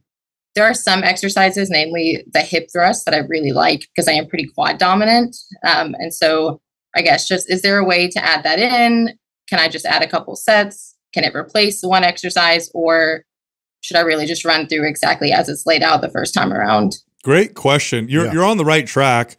I think what would well, let me ask you some more questions. You you said you're you're feel like things are starting to balance out a little bit. How's your sleep and how's your your caloric intake? I, I know you note you you noted in there that, and this is very common for athletes, especially female athletes. You've had some issues with food in the past. How Yeah. how are your calories now, and how sleep and stress and all that stuff? Yeah, for sure. So sleep has definitely gotten a lot better. I've always been a pretty bad sleeper, um, but I would say I get probably seven ish hours a night, maybe eight sometimes. And then with the caloric intake, that has also improved a lot. So back in college, when I was running 40, 50 miles a week and cross training, I was probably eating like 2,000 calories a day. And now I don't track much because it can be a little bit triggering for me. But on days that I do, I'm between 22 and sometimes up to 2,700, and I'm not really seeing any any increase in fat. I feel just generally much better. Oh, that's good. Good I would push. I would push the calories. I'd keep them above around 2,500 or more, based off of what you just said. Three days a week is perfectly fine until Mm-hmm. you get to phase three. Then I'd go down to two days a week because phase three is a lot of volume. There's a lot more reps, low rest. So then I'd go down to two days a week when you get to phase three. As far as hip thrusts are concerned, you can go ahead and swap out the front squats in uh, both phases, in all the phases, and throw in hip thrusts, and that'll be the the the program that you follow, and that's pretty much it. It's pretty straightforward. I think you'll I think you'll be very pleased with how your body responds. I don't have much to add to that. I think that's the exact same advice. Are you doing any any running right now in conjunction with this? Or are you just strength training? Yeah, so I had stopped running for a while because I had a hip injury, but I I've started kind of up again. I mean, like 10 miles a week, just slow. I do that and a lot of walking, but that's pretty much the only cardio I do. That's, and it sounds easy to, for you. Yeah, 10, 10 miles a week is That's okay, but I do want to highlight that if uh, if we have a goal of building our booty because we're quad quad dominant, that's not helping you. Just so you know. yeah, I know. So just keep. I'm I'm totally okay with it. Um, I would prefer you did mid hike, hikes and like uphill, maybe uphill sprints. I was just gonna that. say if you did mid distance, if you're okay with sprinting, Yeah, I would love to see you sprint Yeah. uphill. Yeah, Sprinting up- uphill yeah, would be way better for you than going for flat long runs. Uh, in, in in particular with the the developing the butt, like it sounds like you have a pretty good balance as far as how much volume of training you're doing. I'm okay with that. But if you came to me and and I heard the goal right, like this is like I want to make sure health is number one, make sure your periods are regular, eating enough food, and then I also want to do hip thrusts because I'm quad dominant. So that says says to me that you want to build your butt.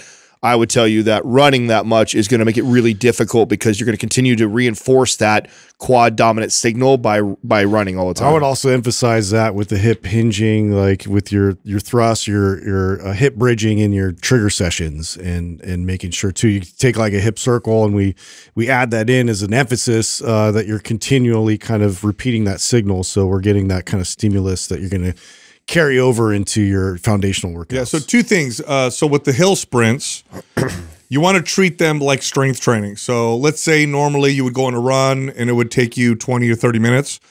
Give yourself the same amount of time and you would do sets of sprints. So you would sprint up a hill as fast as you can. Yeah. You'd come down, wait till you caught your breath, wait till everything's ready to go where you can explode again. So it's more anaerobic. It's anaerobic. Yeah. It's muscle building. Yeah. Um, not so much like the the distance type running, and that'll actually probably build little muscle sure on you as well. Do you have access to a sled too? By the way.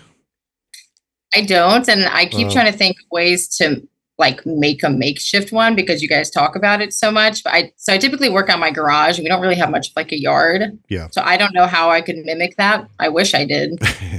Yeah, I know it's a bit expensive. push your car. but Yeah, yeah. Until yeah, until you want to make that kind of an investment, but it is a great one to, especially a, a drag, a sled drag, building up volume there would really Yeah. help kind So, of posterior chain. Uh, do you know what your body fat percentage is at?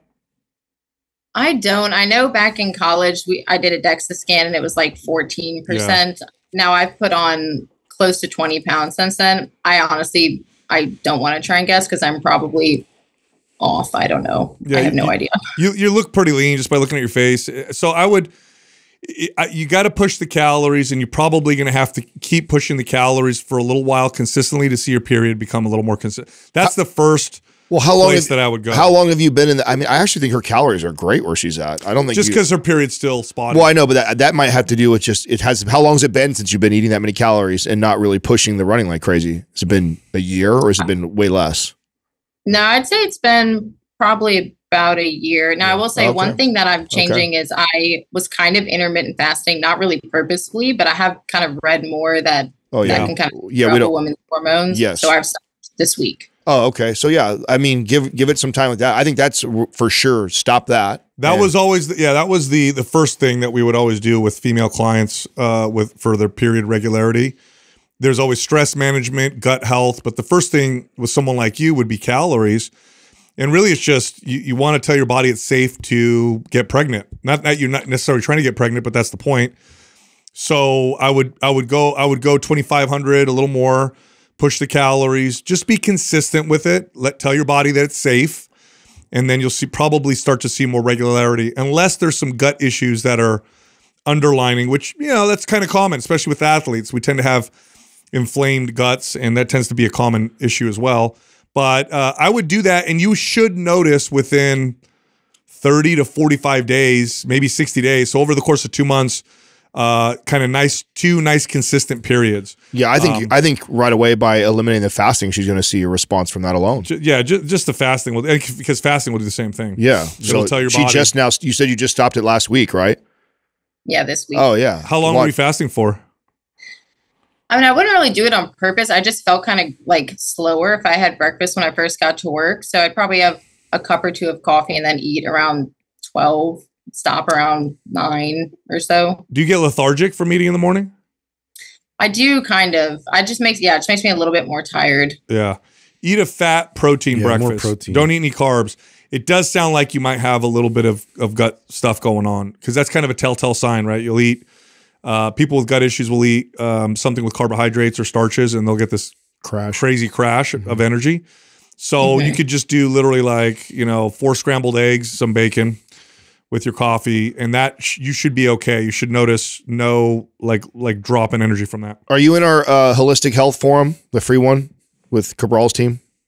No. I'm Okay, not. you should join that. You should join that, and as you're going through this, uh, you know, maybe trying different foods for breakfast.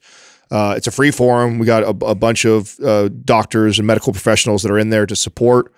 Um, and if Sal is right that there's potential uh, underlining gut issues that you have going on, they'll help you troubleshoot that, and then that would be the place you go to get the testing done, and then for them to take you through that. So that that could be very well a possibility, and they'll probably even be able to pick up on it faster than we would. Yeah. Do you have a, a stressful job? Are you wearing scrubs? Do you have a stressful job? Looks like you're wearing scrubs.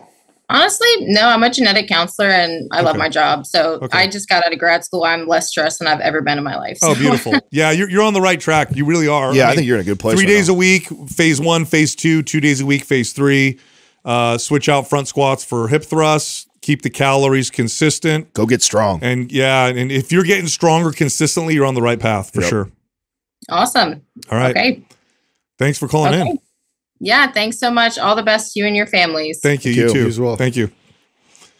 Yeah, good. That was pretty straightforward. She's in a good place. Yeah. I think she's in a really good place, and I even think because 2,500 calories is a lot of calories, bro. That's a. I think well, she was at 22 to 27. So I'm like, stay consistent in the middle. You know what that usually means to me?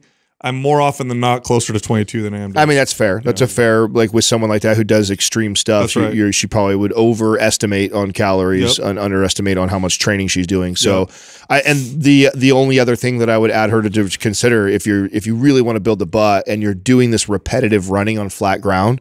That's part of the problem is that you are so quad dominant. signal. It's distance competing. running is a butt like uh, burner. In other words, you're gonna lose your butt. Sprinting is a butt builder. Disintegrator. Very yeah, different, right? Yeah, yeah. Our next caller is Meg from Pennsylvania. Meg, what's happening? How can we help you? That looks so real. Thank you guys. I do take those backgrounds real serious. Um, so, question here, right? It's the crossover between weightlifting and mobility. Um, so, I'm an avid spinner. I spin five to seven times a week, 45 minute classes. Um, with that has come all of the traditional cyclist ailments, specifically tight hips, uh, ankle mobility opportunities. Um, and, and so, I guess also for background, um, I do weightlift a couple times a week, two to three times a week. When I rode in, I was running anabolic. This week, I started uh, symmetry, right? So, really exciting there. Um, and uh, you guys have really encouraged me in the mobility space, and and I have seen a tremendous improvement from practicing things like 90 90s and combat stretch daily.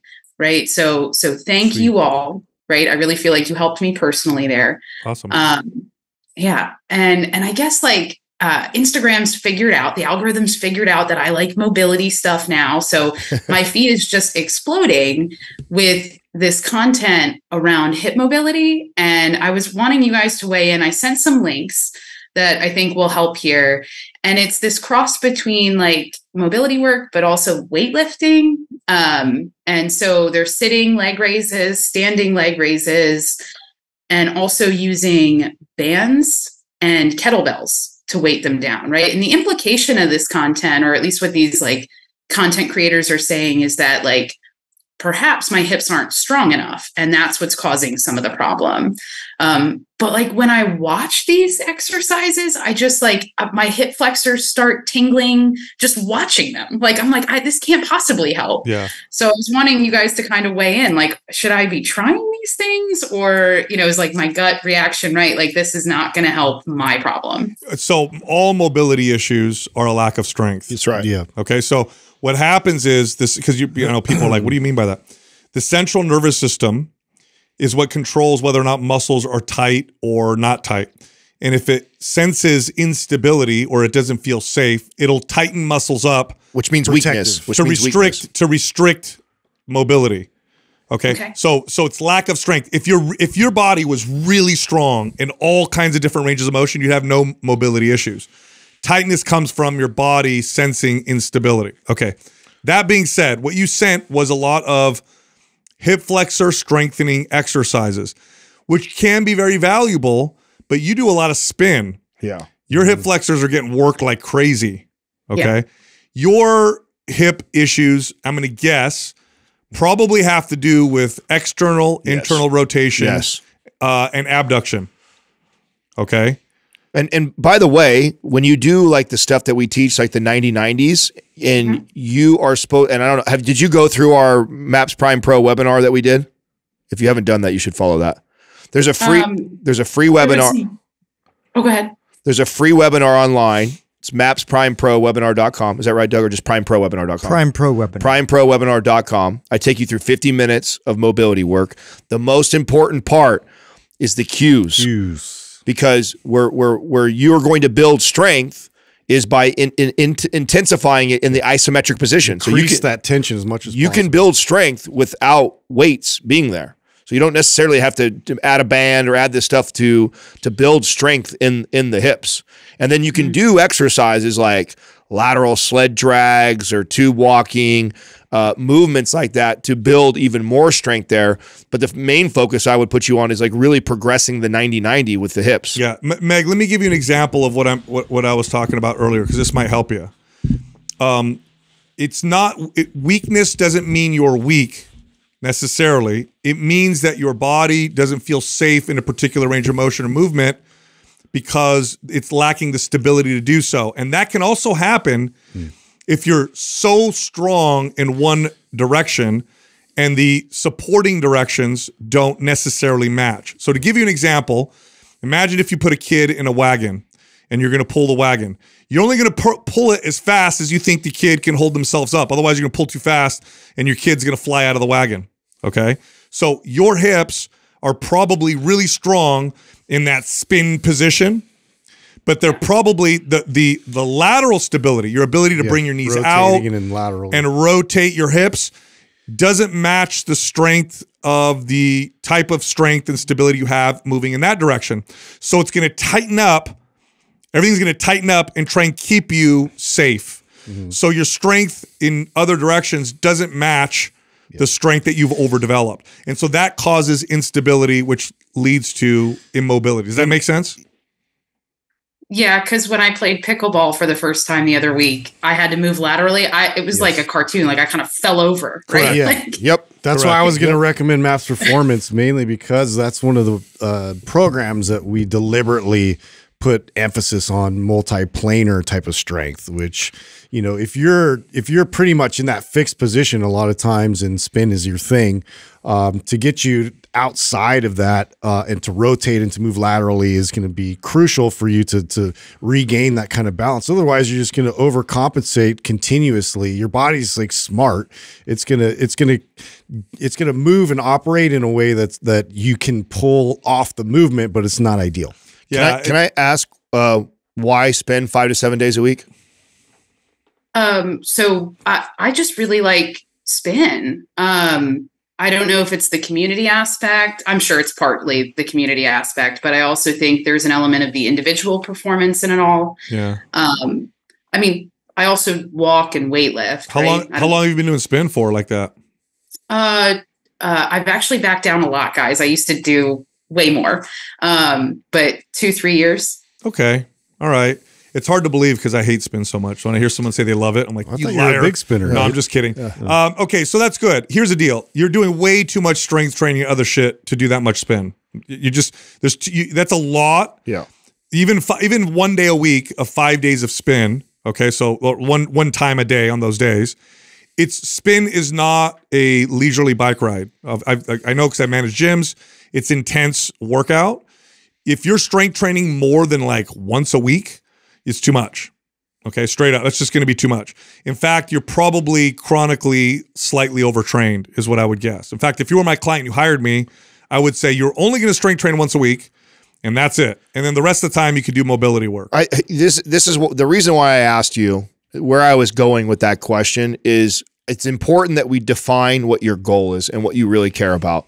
Because if you came to me and you just said, "Oh, I, I my my hips are a little bit of an issue. What can we do to address it?" I would re- recommend maybe performance and some mobility stuff, some lateral strength training to complement your spin class. But if you're like, "I'm I'm where I'm at body fat percentage wise, where I'm at strength wise, where I'm I love where I'm at and I love what I do," I wouldn't take that away from you. But if you told me conflicting goals, I want to build this, or I want to look like this, or I want to be stronger this way, like, then I would tell you the truth, which is our five to seven days of spin class is keeping us from getting your goals. So it really comes down to what do you really want? Yeah, if do you, want us to support your spin? Yeah. Which is we can do, or do you want to move out of that a little bit and try something else? And it's it- there's no wrong answer here. Mm-hmm. yeah, what is your goal? What do you want out of exercise? What do you want? Well, what I want out of exercise and what I think spin gives me is mental sanity, right? Like, so I'm in the middle of dissertation right now for the PhD. I work Oh, a full time job. Like, spin is fun, social. Yeah. Like, I'm not really looking to change that, right? That's fine. Um, I started weightlifting honestly to get better at spin, Oh, right? Um, so I, I don't know. That's very I- I helpful. think I That, that, that's what I do. okay. That's okay. Live in There's- phase two of Maps Performance. That is super, like literally super helpful. That's right. said. That's right. I would do strength training once a week, and then you can add uh, hip mobility movements. Like I think 90 90 is going to be your friend. huge. Yeah. I think lateral sled dragging would be an also another kind of strength slash mobility movement that you could do here and there. Um, Honestly, simplify it and just do Maps Performance phase two. Stick there for a long period of time. I mean, that's got everything in it. It's everything you need in terms of multiplanar strength. But I- I- but only one day a week. One day a week. One day a week. One day a week, just that, and you're good. Do you have Maps Performance, Meg? I don't. All right, we'll send that to you. and then Sure. and then just for queuing purposes so you you get the desired outcome go look at that prime webinar Yes. that i did because how you do the mobility stuff is is the difference maker on how much Here- strength and progress you'll see Here's there. what'll happen. You're gonna do the if you follow his mobility class and you get to the hip part, you'll know if you're on the right track if you feel immediately better. You'll do the movement, you'll stand up and be like, "Whoa, I feel so much better." Yeah. You know you're on the right. Hone in on that. Yeah, you know you're on the right path because what the mobility movements do is they turn on the CNS in the way that you need to. So you'll temporarily have more stability, even though you haven't really built strength or muscle yet. In the short term, you'll get more stability you, and you'll notice it. You'll and move then around. use that move that you find the most benefit from as your primer going into your spin class. Yeah. So I do think the that ahead 90 of time. 90 yeah. is going to be. What do you what do you, what are you getting a PhD in by the way? Uh, industrial engineering. Oh wow. Good for you. That's awesome. Thank you. All right, cool. Well, we're going to send you performance and one of those foundational workouts a week in addition to what you're doing. And then check out that webinar, especially the hip portion. I think you're going to really benefit from that. Yeah. Okay. Go Thank get some guys. surf outside. Looks Yeah. nice. Thanks, Meg. Take it right, have easy. a good one. Take it easy, too. Meg. Right. Bye. Yeah, perfect. I mean, perfect. She answered exactly. Well, really gave us yeah, the answer. That is so Focus. so important. Um, when when we as any coach or trainer gives advice to somebody because had she said something like, "Oh, Adam, I just want to lean out a little bit," or "I want to Yeah. build my butt," But or, Or more wanna- aesthetic or yeah, yeah, you give me an different. answer like that, I'm going to tell you what you're doing is wrong, and it's and that's the reason why you're not getting to where you want to be. But if you say, "I fucking love spin," and the only reason why I started strength training was to be better at spin, whole different protocol, Totally. whole different protocol, because we don't give a shit about body fat percentage, we don't give a shit about building our butt or anything like that. All we care about is getting good at our spin because it gives us this mental break from all the schooling and shit we're doing. I'm not going to tell my client not to do that, Yeah. Yep. even if I'm not a fan of that. If that's what it gives her and she's happy doing that, I'm going to give her the stuff that's going to make her better. the at problem is, is that people are like, I want everything. You know, say, hey, look, I want to start a business and be a millionaire within three years, but I really want more time with my family, my kids, and I want more time do to I do all these hobbies. Yeah. How do I do it all? It's like I, I, can't. I, I do I do want to highlight though one thing that she did say and just just so she when she hears this to keep your eye out on the self-awareness thing here to know that if this could be you because I'm I'm very familiar with classes right so I taught a lot of classes and the type of personality that loves this and and says it gives them energy and stuff like that it's what we call cortisol junkies they are seeking that high because they they're they've they're crushing it so hard at work or school I bet she would hate like a slow yoga. Oh, just and so the reason why you feel so good from that is you get you get a dump. You get this huge adrenaline dump afterwards, and that is not a necessarily a hump uh, health, healthy thing. So keep that in mind. That the, the the feeling that you get from that doesn't necessarily mean it's a healthy, good one that you're getting from that class. Justin said the exact same thing. He's like, when I get a dump, I feel so much I better. do. Every time I feel better. You love not- spinning. It's not what I meant. Big spinner. Our next caller is Jake from North Dakota. Jake, what's happening, man? How can we help you? Hey, uh, it's great to see you. Um, uh, I'll jump right into my question with uh, the background, a little history. So, um, 33 years old. Basically, been working out since I was 14. Um, been got quite a bit of time under my belt. Um, oh, a little bit nervous here. Um, so last like strength and like looks and stuff like that have never been important to me. It's always been function, um, being stronger, healthier, helping out with day to day life and work. Um, a lot of that's been a big thing throughout my whole work or career has been working out to help help my job be easier. I've always been into a physical um, career. It's been mostly um, manufacturing that I've been in, manufacturing, construction. Um, but over about nine months to a year ago, I ran into a just stressors were building up, and it was probably close to a year now. It, and um, I just started listening to you guys, and it's like at that point I had to start backing off of something. So I changed my workout program to more of something along the lines I didn't know about you guys at the time to like something more like your Maps 15, except it was more like a half hour program to cut back because I was just there was just too much going on in life. So I cut back that, and eventually it's just like I gotta either get rid of working out for a while or something else. So I stopped working out altogether about a year ago, and then uh, work proceeded to cause some more issues, and I ended up um, making a, a career path to switch or a decision to change career paths, I should say. Um, so ended up applying for a massage academy to go and go into massage therapy instead.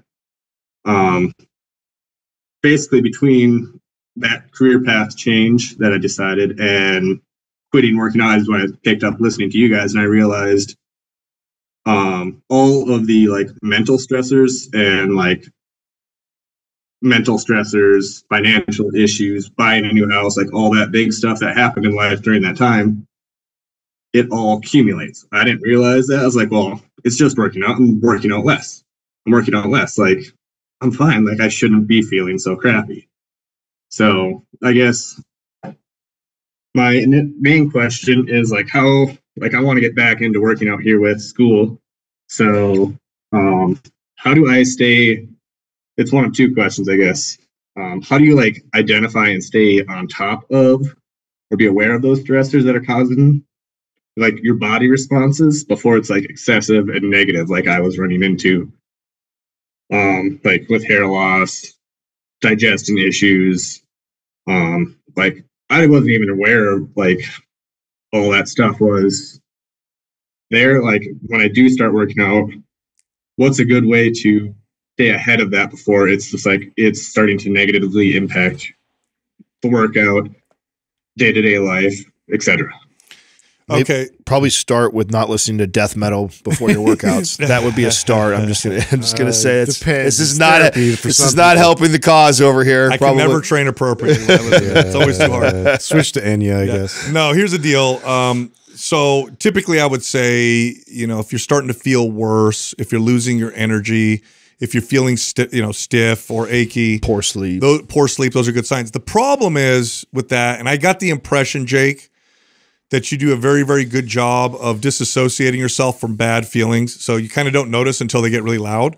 And Yes. uh, yeah, okay, good. So I'm the same way. Mm-hmm. So here's what you might want to pay attention to pay attention to your self medicating habits, whatever those may be, whether it's food or habits where you distract yourself, or if you like alcohol or Cheese or weed alcohol, or, yeah. sugary food or whatever. Habits you know that you tend to go towards when your stress is high. If you notice that those cravings go up and you start moving in that direction, that's a sign, uh oh, like I'm not dealing with something. So, and that's an easier, more objective thing to pay attention to. And then what I do when I notice that is I then say, wait a minute, how does my body feel? What's going on? And it gives me a better gauge of, of what's going on.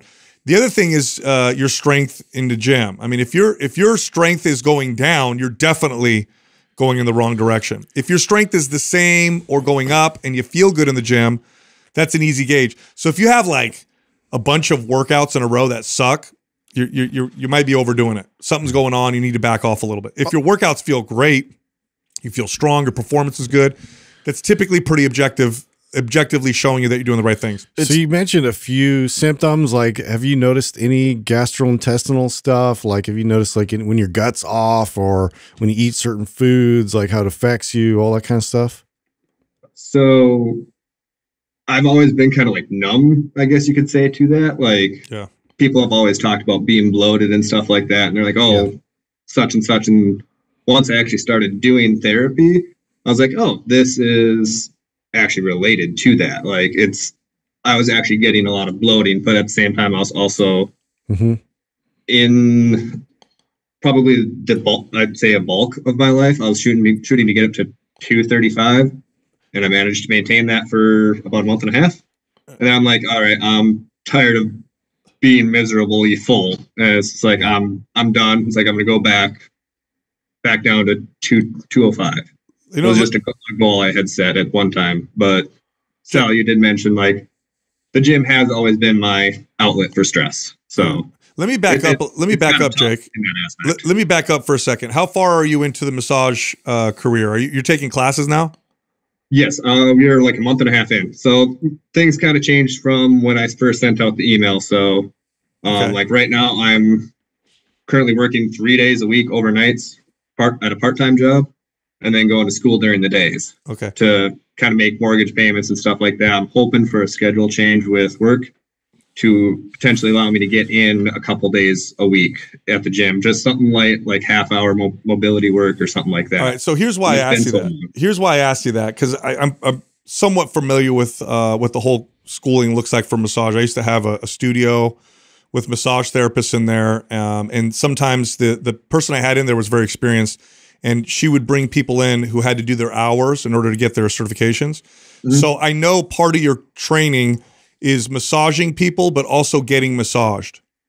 Every Okay? day. Okay, every single day. Okay, here's what I want every you single day, and it's at least an hour each way. Okay, that's going to put you in your body. So uh, if you don't nor if you don't know if you're noticing, you're probably already noticing that you're able to feel things more because you'd be okay. I would work with the massage therapists that are in the class with you that are massaging you, and I want you to tell them if they don't already. I'm sure they already do, but tell them, let me know if you start to feel like I'm overstressed or if I'm too tight, or if I'm tighter than normal. And I want you to take their, I want you to take what they say and and and use that because a good massage therapist will let you know. They'll work on you and be like, "Ooh, you seem like there's something." And then you know we'll deny it. No, everything's fine, but they can feel, and you'll learn this mm-hmm. as, as you go along. You'll start to be able to feel as you work with regular clients whether or not they're more stressed or less stressed. So I would ask them, you know, hey, I'm going to start working out. I have trouble feeling, uh, you know, tough feelings. I tend to ignore things. I don't notice until it's too late. Let me know if you notice big changes in my body while you're working on me, and then have them point it out to you. You've also Well, probably that's one thing they pointed out already is that I am the toughest person in class to work on. one, I, I the one who work have the has the biggest workout history, Yeah. and two, it's Yeah. they're all it's like it's like trying to work on a rock Yep. because you're so bound up and tense everywhere. Yep. Yeah. yeah. Yeah. yeah. So- Got a lot of By the way, that's to work through there. I, I want to say something too, Jake. That's not because you lift weights. yeah. People think that because someone lifts weights that they're going to be internalize a lot tighter stress. and harder to work on with massage therapy. It's not because you lift weights. It's because you probably hold everything in. Yep. And so your totally body is with this. without even knowing your body's on guard. Okay. Okay. So that's what's happening. It's not the weights. If you train, if you, it, you'll get the opportunity at some point. If you massage someone who's got big muscles, who's very healthy and knows how to not hold things in, yeah, the muscles are bigger, but they're pliable. You can work through them. In fact, it'll be a great person to work on because you'll be able to identify muscles and know what you're doing. And it's really fun for you to work on someone like that. So you're tight, not because you lift, but because you hold everything in. So as they release those muscles, you may start to feel emotions. Let yourself feel those and and get and, and take their feedback. That'll help you through this process. So you're actually in a very good place right now to to answer your own question, which is how do I know when I'm doing too much? And Okay. then just keep in mind, I know if you've been listening to the show long enough, you've probably heard me say before, the goal is always to do the uh, the least amount possible to elicit the most amount of change.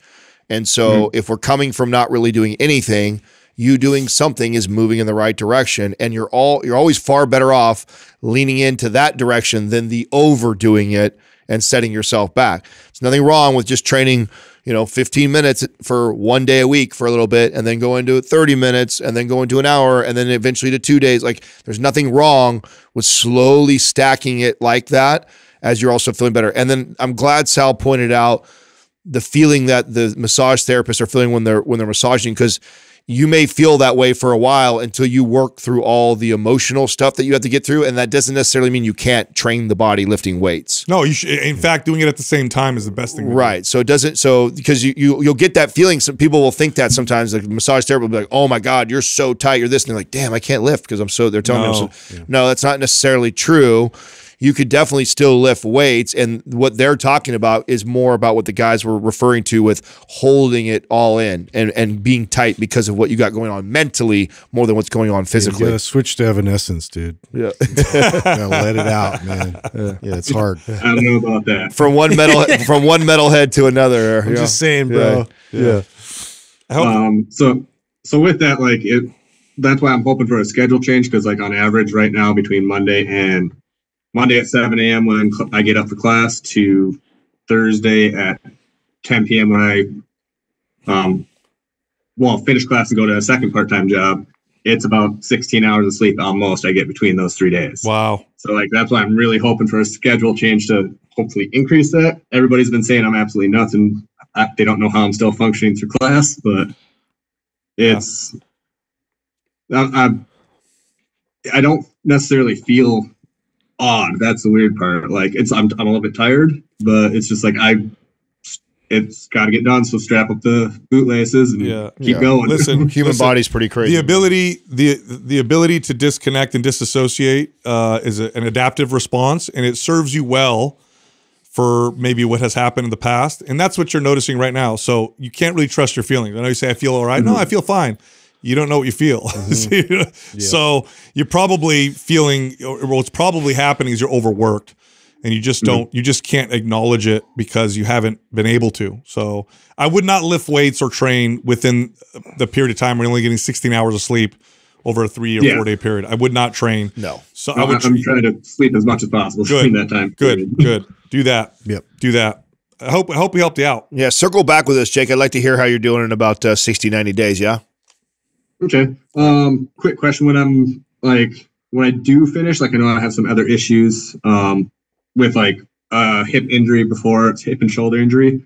Um, would it be best to like start out with Prime or Prime Pro? Prime Because Pro. I'd also um, like or like Symmetry. Like that's kind of where I'm like mixed up because I know there's imbalances as well. The combo of those. Yeah, Prime Pro for the correctional exercise, and then Symmetry would be a great workout. Do you have those?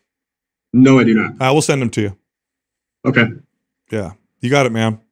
Hang in there. Thanks a bunch. Yep. You got it, brother.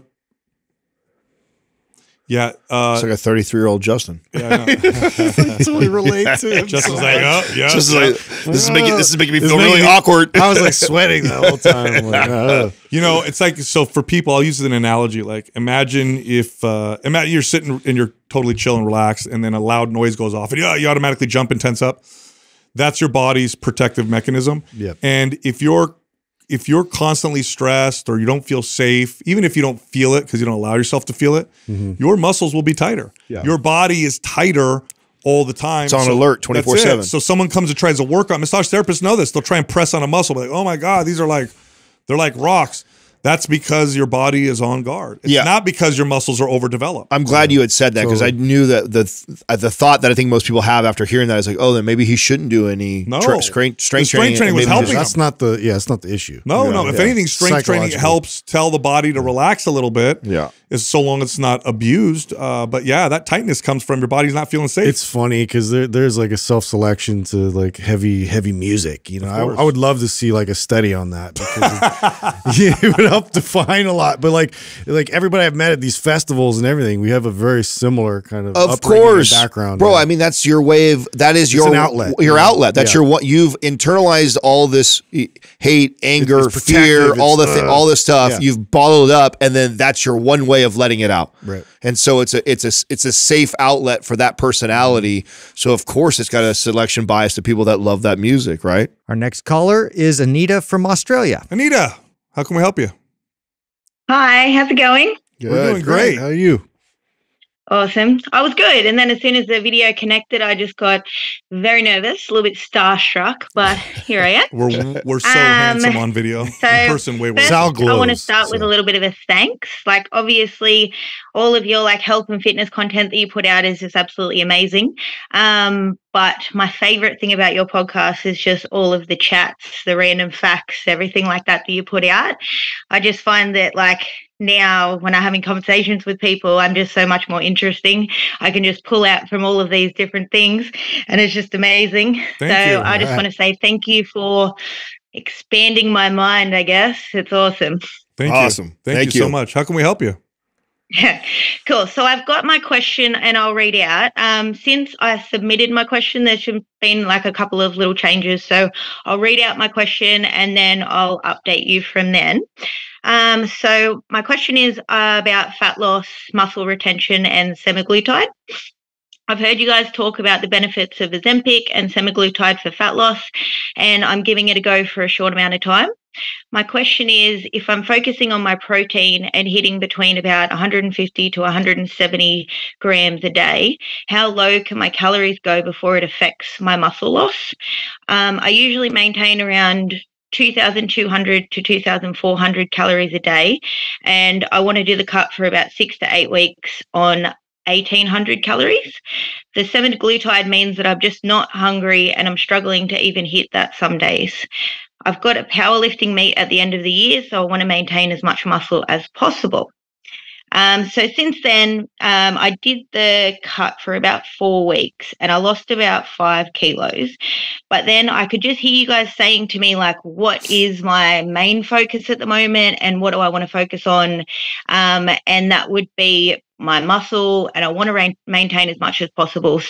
So I put a hold on that cut and I'm just going back to eating all the food, getting as strong as possible until I do that powerlifting meet. Um, once that's done, I definitely do want to resume the cut and pretty much everything else still stands.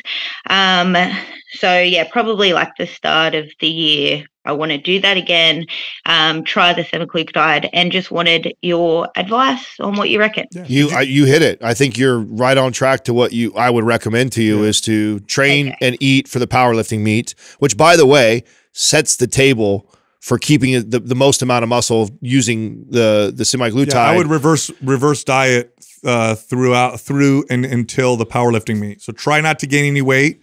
Slowly bump your calories. That way, the cut is just so much more effective. Yeah. How um did you stop the semaglutide?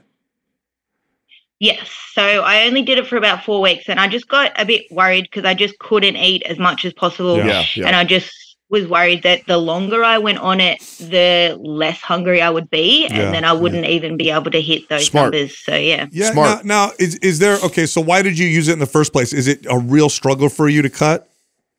So um, I've been on a bit of a weight loss journey for a while. So I lost, I'm going to talk in kilos. So sorry. That's okay. We can um, about 40 kilos Wow. over um, the amount of time after having kids and everything like that. So, yeah, like it just been in that diet phase for a while. But over the last, say, one and a half to two years, I've been bulking, maintaining, building muscle, doing all the things that you guys say, like build all the muscle first.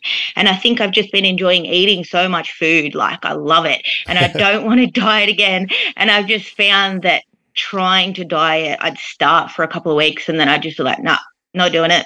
I want to do this. I want to stay strong. But I do still have fat to lose. Like I do want to still lose about 10 kilos. So yeah, it is my goal and I know that it will benefit me, but it's just so hard to get into it. And I found starting the semaglutide, it was easy to stick to that um, diet. Yeah, Anita, you, uh, you you're not somebody I would recommend semaglutide to because you're in a good place. You've been building. You already lost a lot on your own. Your metabolism's pretty damn good if you're maintaining at 22 to Yeah. 2400 calories. I would do a slow when you're ready to cut. Just do it slow, unless you're in a hurry. I would do it slow because here's the issue with Uh, it's just the mental barrier around it. Like I just find if I start to cut, then I'm just like, oh, I can't do it, and I can't stick to it. And then I thought if I with the semaglutide, it just do that quick, like four to six weeks, just that, yeah, like hit it hard. I'm lose not- a few kilos and then maintain, and that's what I have been doing throughout the time to just build muscle, like doing that four to six week cut, then going back to maintenance for a while, sitting there, and then just doing that small cut. And I found mentally it helps me. Okay. I'm, yeah, I'm not. I'm not against But it. yeah, over the last yeah twelve months, I just haven't been able to stick to it. I'm not against. I'm not like against. I'm not against it. I'm not against at all. I I wouldn't recommend it. Like it wouldn't be like that. Might that would not be just. I agree with Sal that if like we got this question and that that wasn't even part of the equation and you asked us what to do, we'd always go the natural route of like where he was heading. But the fact that you bought it already and you have it, and I actually think that your mindset around it is healthy and fine. I'm not against it. I don't. I think it, and and I think what the what the research is starting to show with the the what it's doing mentally for people that are being able to quit cigarettes and drinking and all kinds of other habits around it. A lot of people are seeing benefits in that direction. It's not ideal because what also the research is pointing to is people are losing as much muscle as they are losing as they're losing Because fat. the calories are so so low, because the because the calories are so low. So the thing that I would be concerned about is that if you are starting to really struggle to even hit your protein intake and our calories are starting to drop, you know, 1300, 1200 calories because you're just not hungry, then I'd pull you off of it for sure. I'd say, okay, now now we're we're just going to shoot ourselves in the foot. You're going to lose your 20 kilos, but half of it's going to be muscle, half of it's going to be fat, and we're not going to have gotten any leaner and better, would, better uh, situation. have you can could you try cutting the dose of the semaglutide in half? Well, I only just started on the lowest on the lowest dose and did it. So like yeah, for about four weeks. So when I start again, I could probably start at a lower one. Yeah, I would start lower, and I would not do more than a, a 300 calorie cut under maintenance, and keep it there, and Yeah, that'll okay, that'll yeah. help. Yeah, and keep strength training, keep the protein high, and that'll that'll really th- that's the best you could do to maintain the muscle that you have. That's the best chance you got. If your calories go, you know, if your maintenance is 22, 24, and you're going below 1800, 1700, 1600, it's probably going to be too low to maintain some of the muscle and strength that you've built. So I, I, the cut that I would do would be about 300 below maintenance, and I wouldn't do any more than that. And I would let myself do a nice slow cut um, through that process. That's how I would use it. And in the semaglutide, you could try definitely a much lower dose to see if it does help with just a small cut, because it sounds like it was really effective at even the lowest dose for you. Okay, cool. Yeah, it sounds like you have a. You, it sounds like you have good awareness around this too. So just keep an eye on it. I mean, I think that you've already got it. You've done. You have the right mindset with getting ready for the powerlifting meet. If you go back to using it again, just beware of if you if you're losing weight fast, that's probably not a good thing. We don't want to drop weight fast, like because if you are losing it really Yeah. fast, more than likely we're losing as much muscle as we're losing fat. So just be aware of that, and then kick it if that's the case. Yeah, well, in that four weeks, it was about five kilos, and then I was like, "Oh, it's a bit fast." Yeah. Yeah. I mean, it's I mean, it's a little fast, but not crazy bad. Not crazy. I mean, that's what is that? That's uh, Two a week, twenty something pounds. So, uh, no, sorry, no, about twelve pounds, thirteen pounds. Yeah. So, uh, it's a little fast. Uh, do you know what your calories were when you were when you were doing that? Um, about eighteen hundred was Really? my goal, but then some days were even under that. Okay, so what do you think you averaged if you were to add it up and average it out? Fifteen hundred. Uh, I suppose it wasn't too much under, so I'd probably say about like seventeen. Um, That's not bad- that's not But yeah, bro. most of the days my protein was still high, but and her protein's Anita- high. You're doing fine. Anita, your metabolism is doing great. You've done a great job with building strength and muscle because that's not a huge cut to get that fast of a weight loss. Yeah. That's pretty good. I, I just make it a smaller cut. That's all. But your metabolism's working really well, uh, in, you know, in terms of fat loss. I mean, do you do you have access to like a DEXA scan or body like a body fat test that you can check up on yourself every th- three to four weeks? yeah, I did do a scan at the start, but I haven't done one to check back on it again. I'd love to see that. Because Yeah. I went off it pretty quickly and then went on holidays, and I was like, I'll do another one. I was the was, the goal was to check on it.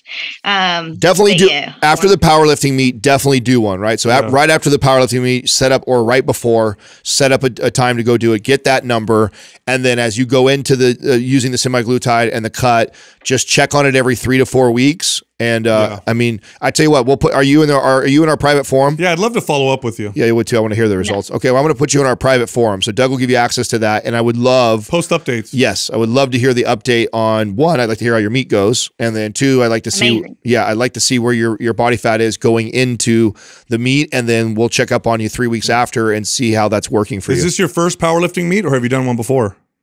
It is. Yeah, first one. Wow, that's good. For, it's like, Yeah. That's the perfect program for based off of what you just told us. Mm-hmm. Do you have a Do you have Maps Powerlift?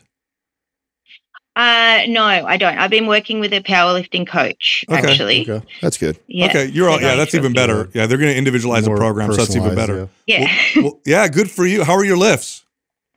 Um, good. I've only just recently got into powerlifting and training. So I think what is it at the moment? My squat is hundred kilos. Um, my bench has That's not good. been moving lately, which is very frustrating. But that's around fifty kilos, and my deadlift is around one hundred and twenty. That's Yeah. good. Sorry if you have Those to are good numbers. Great. that That's good. nu- Those are no, those are great, Great numbers. start. Listen, Yeah. if you fall in love with powerlifting, and you're like, eh, I don't want to cut. I like being strong. Nothing wrong with that. Yeah. There's literally, I swear, listen, there's nothing wrong with that. Yeah. If you love being strong, Yeah. you love powerlifting. Powerlifting can get unhealthy in some ways too because people can hurt their You joints the and stuff. extreme with it, but, But it's Yeah. because it's strength focused and where you came from, where you lost like something like 90 pounds or something like that before. I love it for you. Yeah, so if you decide you don't want to cut, you don't have to. Yeah, I love powerlifting. I love Yeah. it. Just Awesome. getting strong and just feeling strong. And it's good to just have that focus now, like not, you know, going through my whole life of just having that focus of being on a diet all the time. It's Oh, good to have that strength. yes, Anita, this is amazing. great. yeah, you're doing great. Yeah. You're doing good. Keep us Um, posted. Please keep us posted. About like the joint health and stuff, I just had a question. Yeah. Um, if that's all right, like what to do afterwards. Like I'm feeling, you know, everything's kind of my body needs a little bit of a break. Where would you recommend to go afterwards? Like I. Performance. was thinking Symmetry. I hear you guys recommend performance, yeah. symmetry and stuff all the time just for like unilateral, but I do do a bit of unilateral stuff in my um in my like program and stuff like at the moment. But doing a whole thing of it? No, no, I correct? like I like symmetry because and, and you might be doing some unilateral stuff, but you don't you're not doing unilaterals only training. Yeah, but I like would I like Yeah, I like the I mobility and I get the rotational work she's going to get from from performance. Uh, Dude, powerlifting from now till the end of the year. Yeah, and then go Yep. then go into I mean, rotational they're- they're and mobility stuff. They're both Yeah. fine. If performance, I would maybe skip phase one. and Yeah, phase right one's to too phase powerlifting two. like. Yeah. Uh, okay, so here's your two options. You could do maps performance, start in phase two, or you could just do map symmetry. Both of them will be great. Yep. We'll send you both Okay. if you don't have either one. Oh, amazing. Thank you so much. Yeah, you got it. kick ass. Keep Yeah. please keep us posted. I definitely will. Thank you. All right, Awesome. Anita. It was so great to talk to you guys. Have a good day. Thank too. you. You too. What a nice story. Yeah, She great lost day. a lot of weight on her own. Yeah. Has been trying to build muscle, did a power, did power like like a everybody great pay mindset attention. shift. Everybody pay attention, okay? Because the weight loss that she had experienced, 95 plus percent of people would gain back. The way that she's doing it, her odds of success are significantly better. Super high. Yep. Significantly better. She's doing it the right way. And I bet you in a year or two, not only would she keep the weight off, she's probably gonna be leaner and stronger and it, on her journey towards developing this really nice relationship. Yeah, what a fun story. I do want to mm-hmm. address though the semaglutide. We all agree. I don't think we would ever. That would never be the go-to, right? Mm-hmm. Especially with her. She's doing such a good job. Yeah. It wouldn't So- even been brought up in conversation. It wouldn't. It Yeah. wouldn't. The fact that she has it, the fact that she, I think she has a good, healthy mindset. The fact that she had the awareness to stop it because she already thought she was losing weight too fast. It shows me that she's a, a, healthy enough. Like, who am I to judge her for you trying peptides when here we are trying all kinds of fucking peptides, right? Right. When it's like, listen, if you if you have the right mindset, me yeah, I mean that's why I said it though, right? Because it's, I mean, it, she has the right mentality. And the, the fact that without even being coached by us, she knew to get off of it just because she thought it was too fast. She's in a healthy calorie place already. Her concern was she knows she's already cutting so many calories. I don't want to lose muscle. Super smart. I mean, I, that's a person that I would totally, if they have the disposable income to be able to to try out a peptide like that, I'm I'm not, I'm not against it. Sure, and you know, Yeah. for people watching, uh, like you want to go through a doctor, we work with the com- we work with people who are doctors. mphormones.com. Look, if you love the show, head over to mindpumpfree.com and check out all of our free fitness guides. They're awesome. You can also find all of us on social media. Justin is at mindpump Justin on Instagram. I'm at mindpump Stefano, and Adam is at mindpump Adam. You know, you, you got to manifest. It starts at the feet, dude. I feel like you could like. I feel like you, They're tight though. I, I They bought- look, they look like socks. Yeah, I bought I bought other ones that are bigger because I was like I fucked Who- up. What are those? They're Nikes. They're um Are those Nikes? Are yeah, they- they're, don't they they're run a half a size racing small? Nikes? slash training shoes. wait, wait, What are they called? Um, I forget what they're called. Hold on a second. The box said racing, so you bought It them. says racing. it did, dude.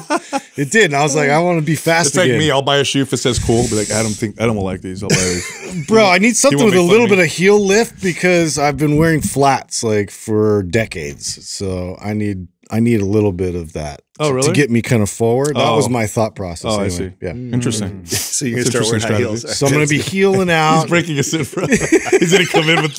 yeah, it's like a little at a time. week. Next levels, dude. The Hey, next bro. one's gonna be up here. Yeah, So we what don't point, que- hey, what point do you want me to step in and say something here, guys? Hey, so we don't question him.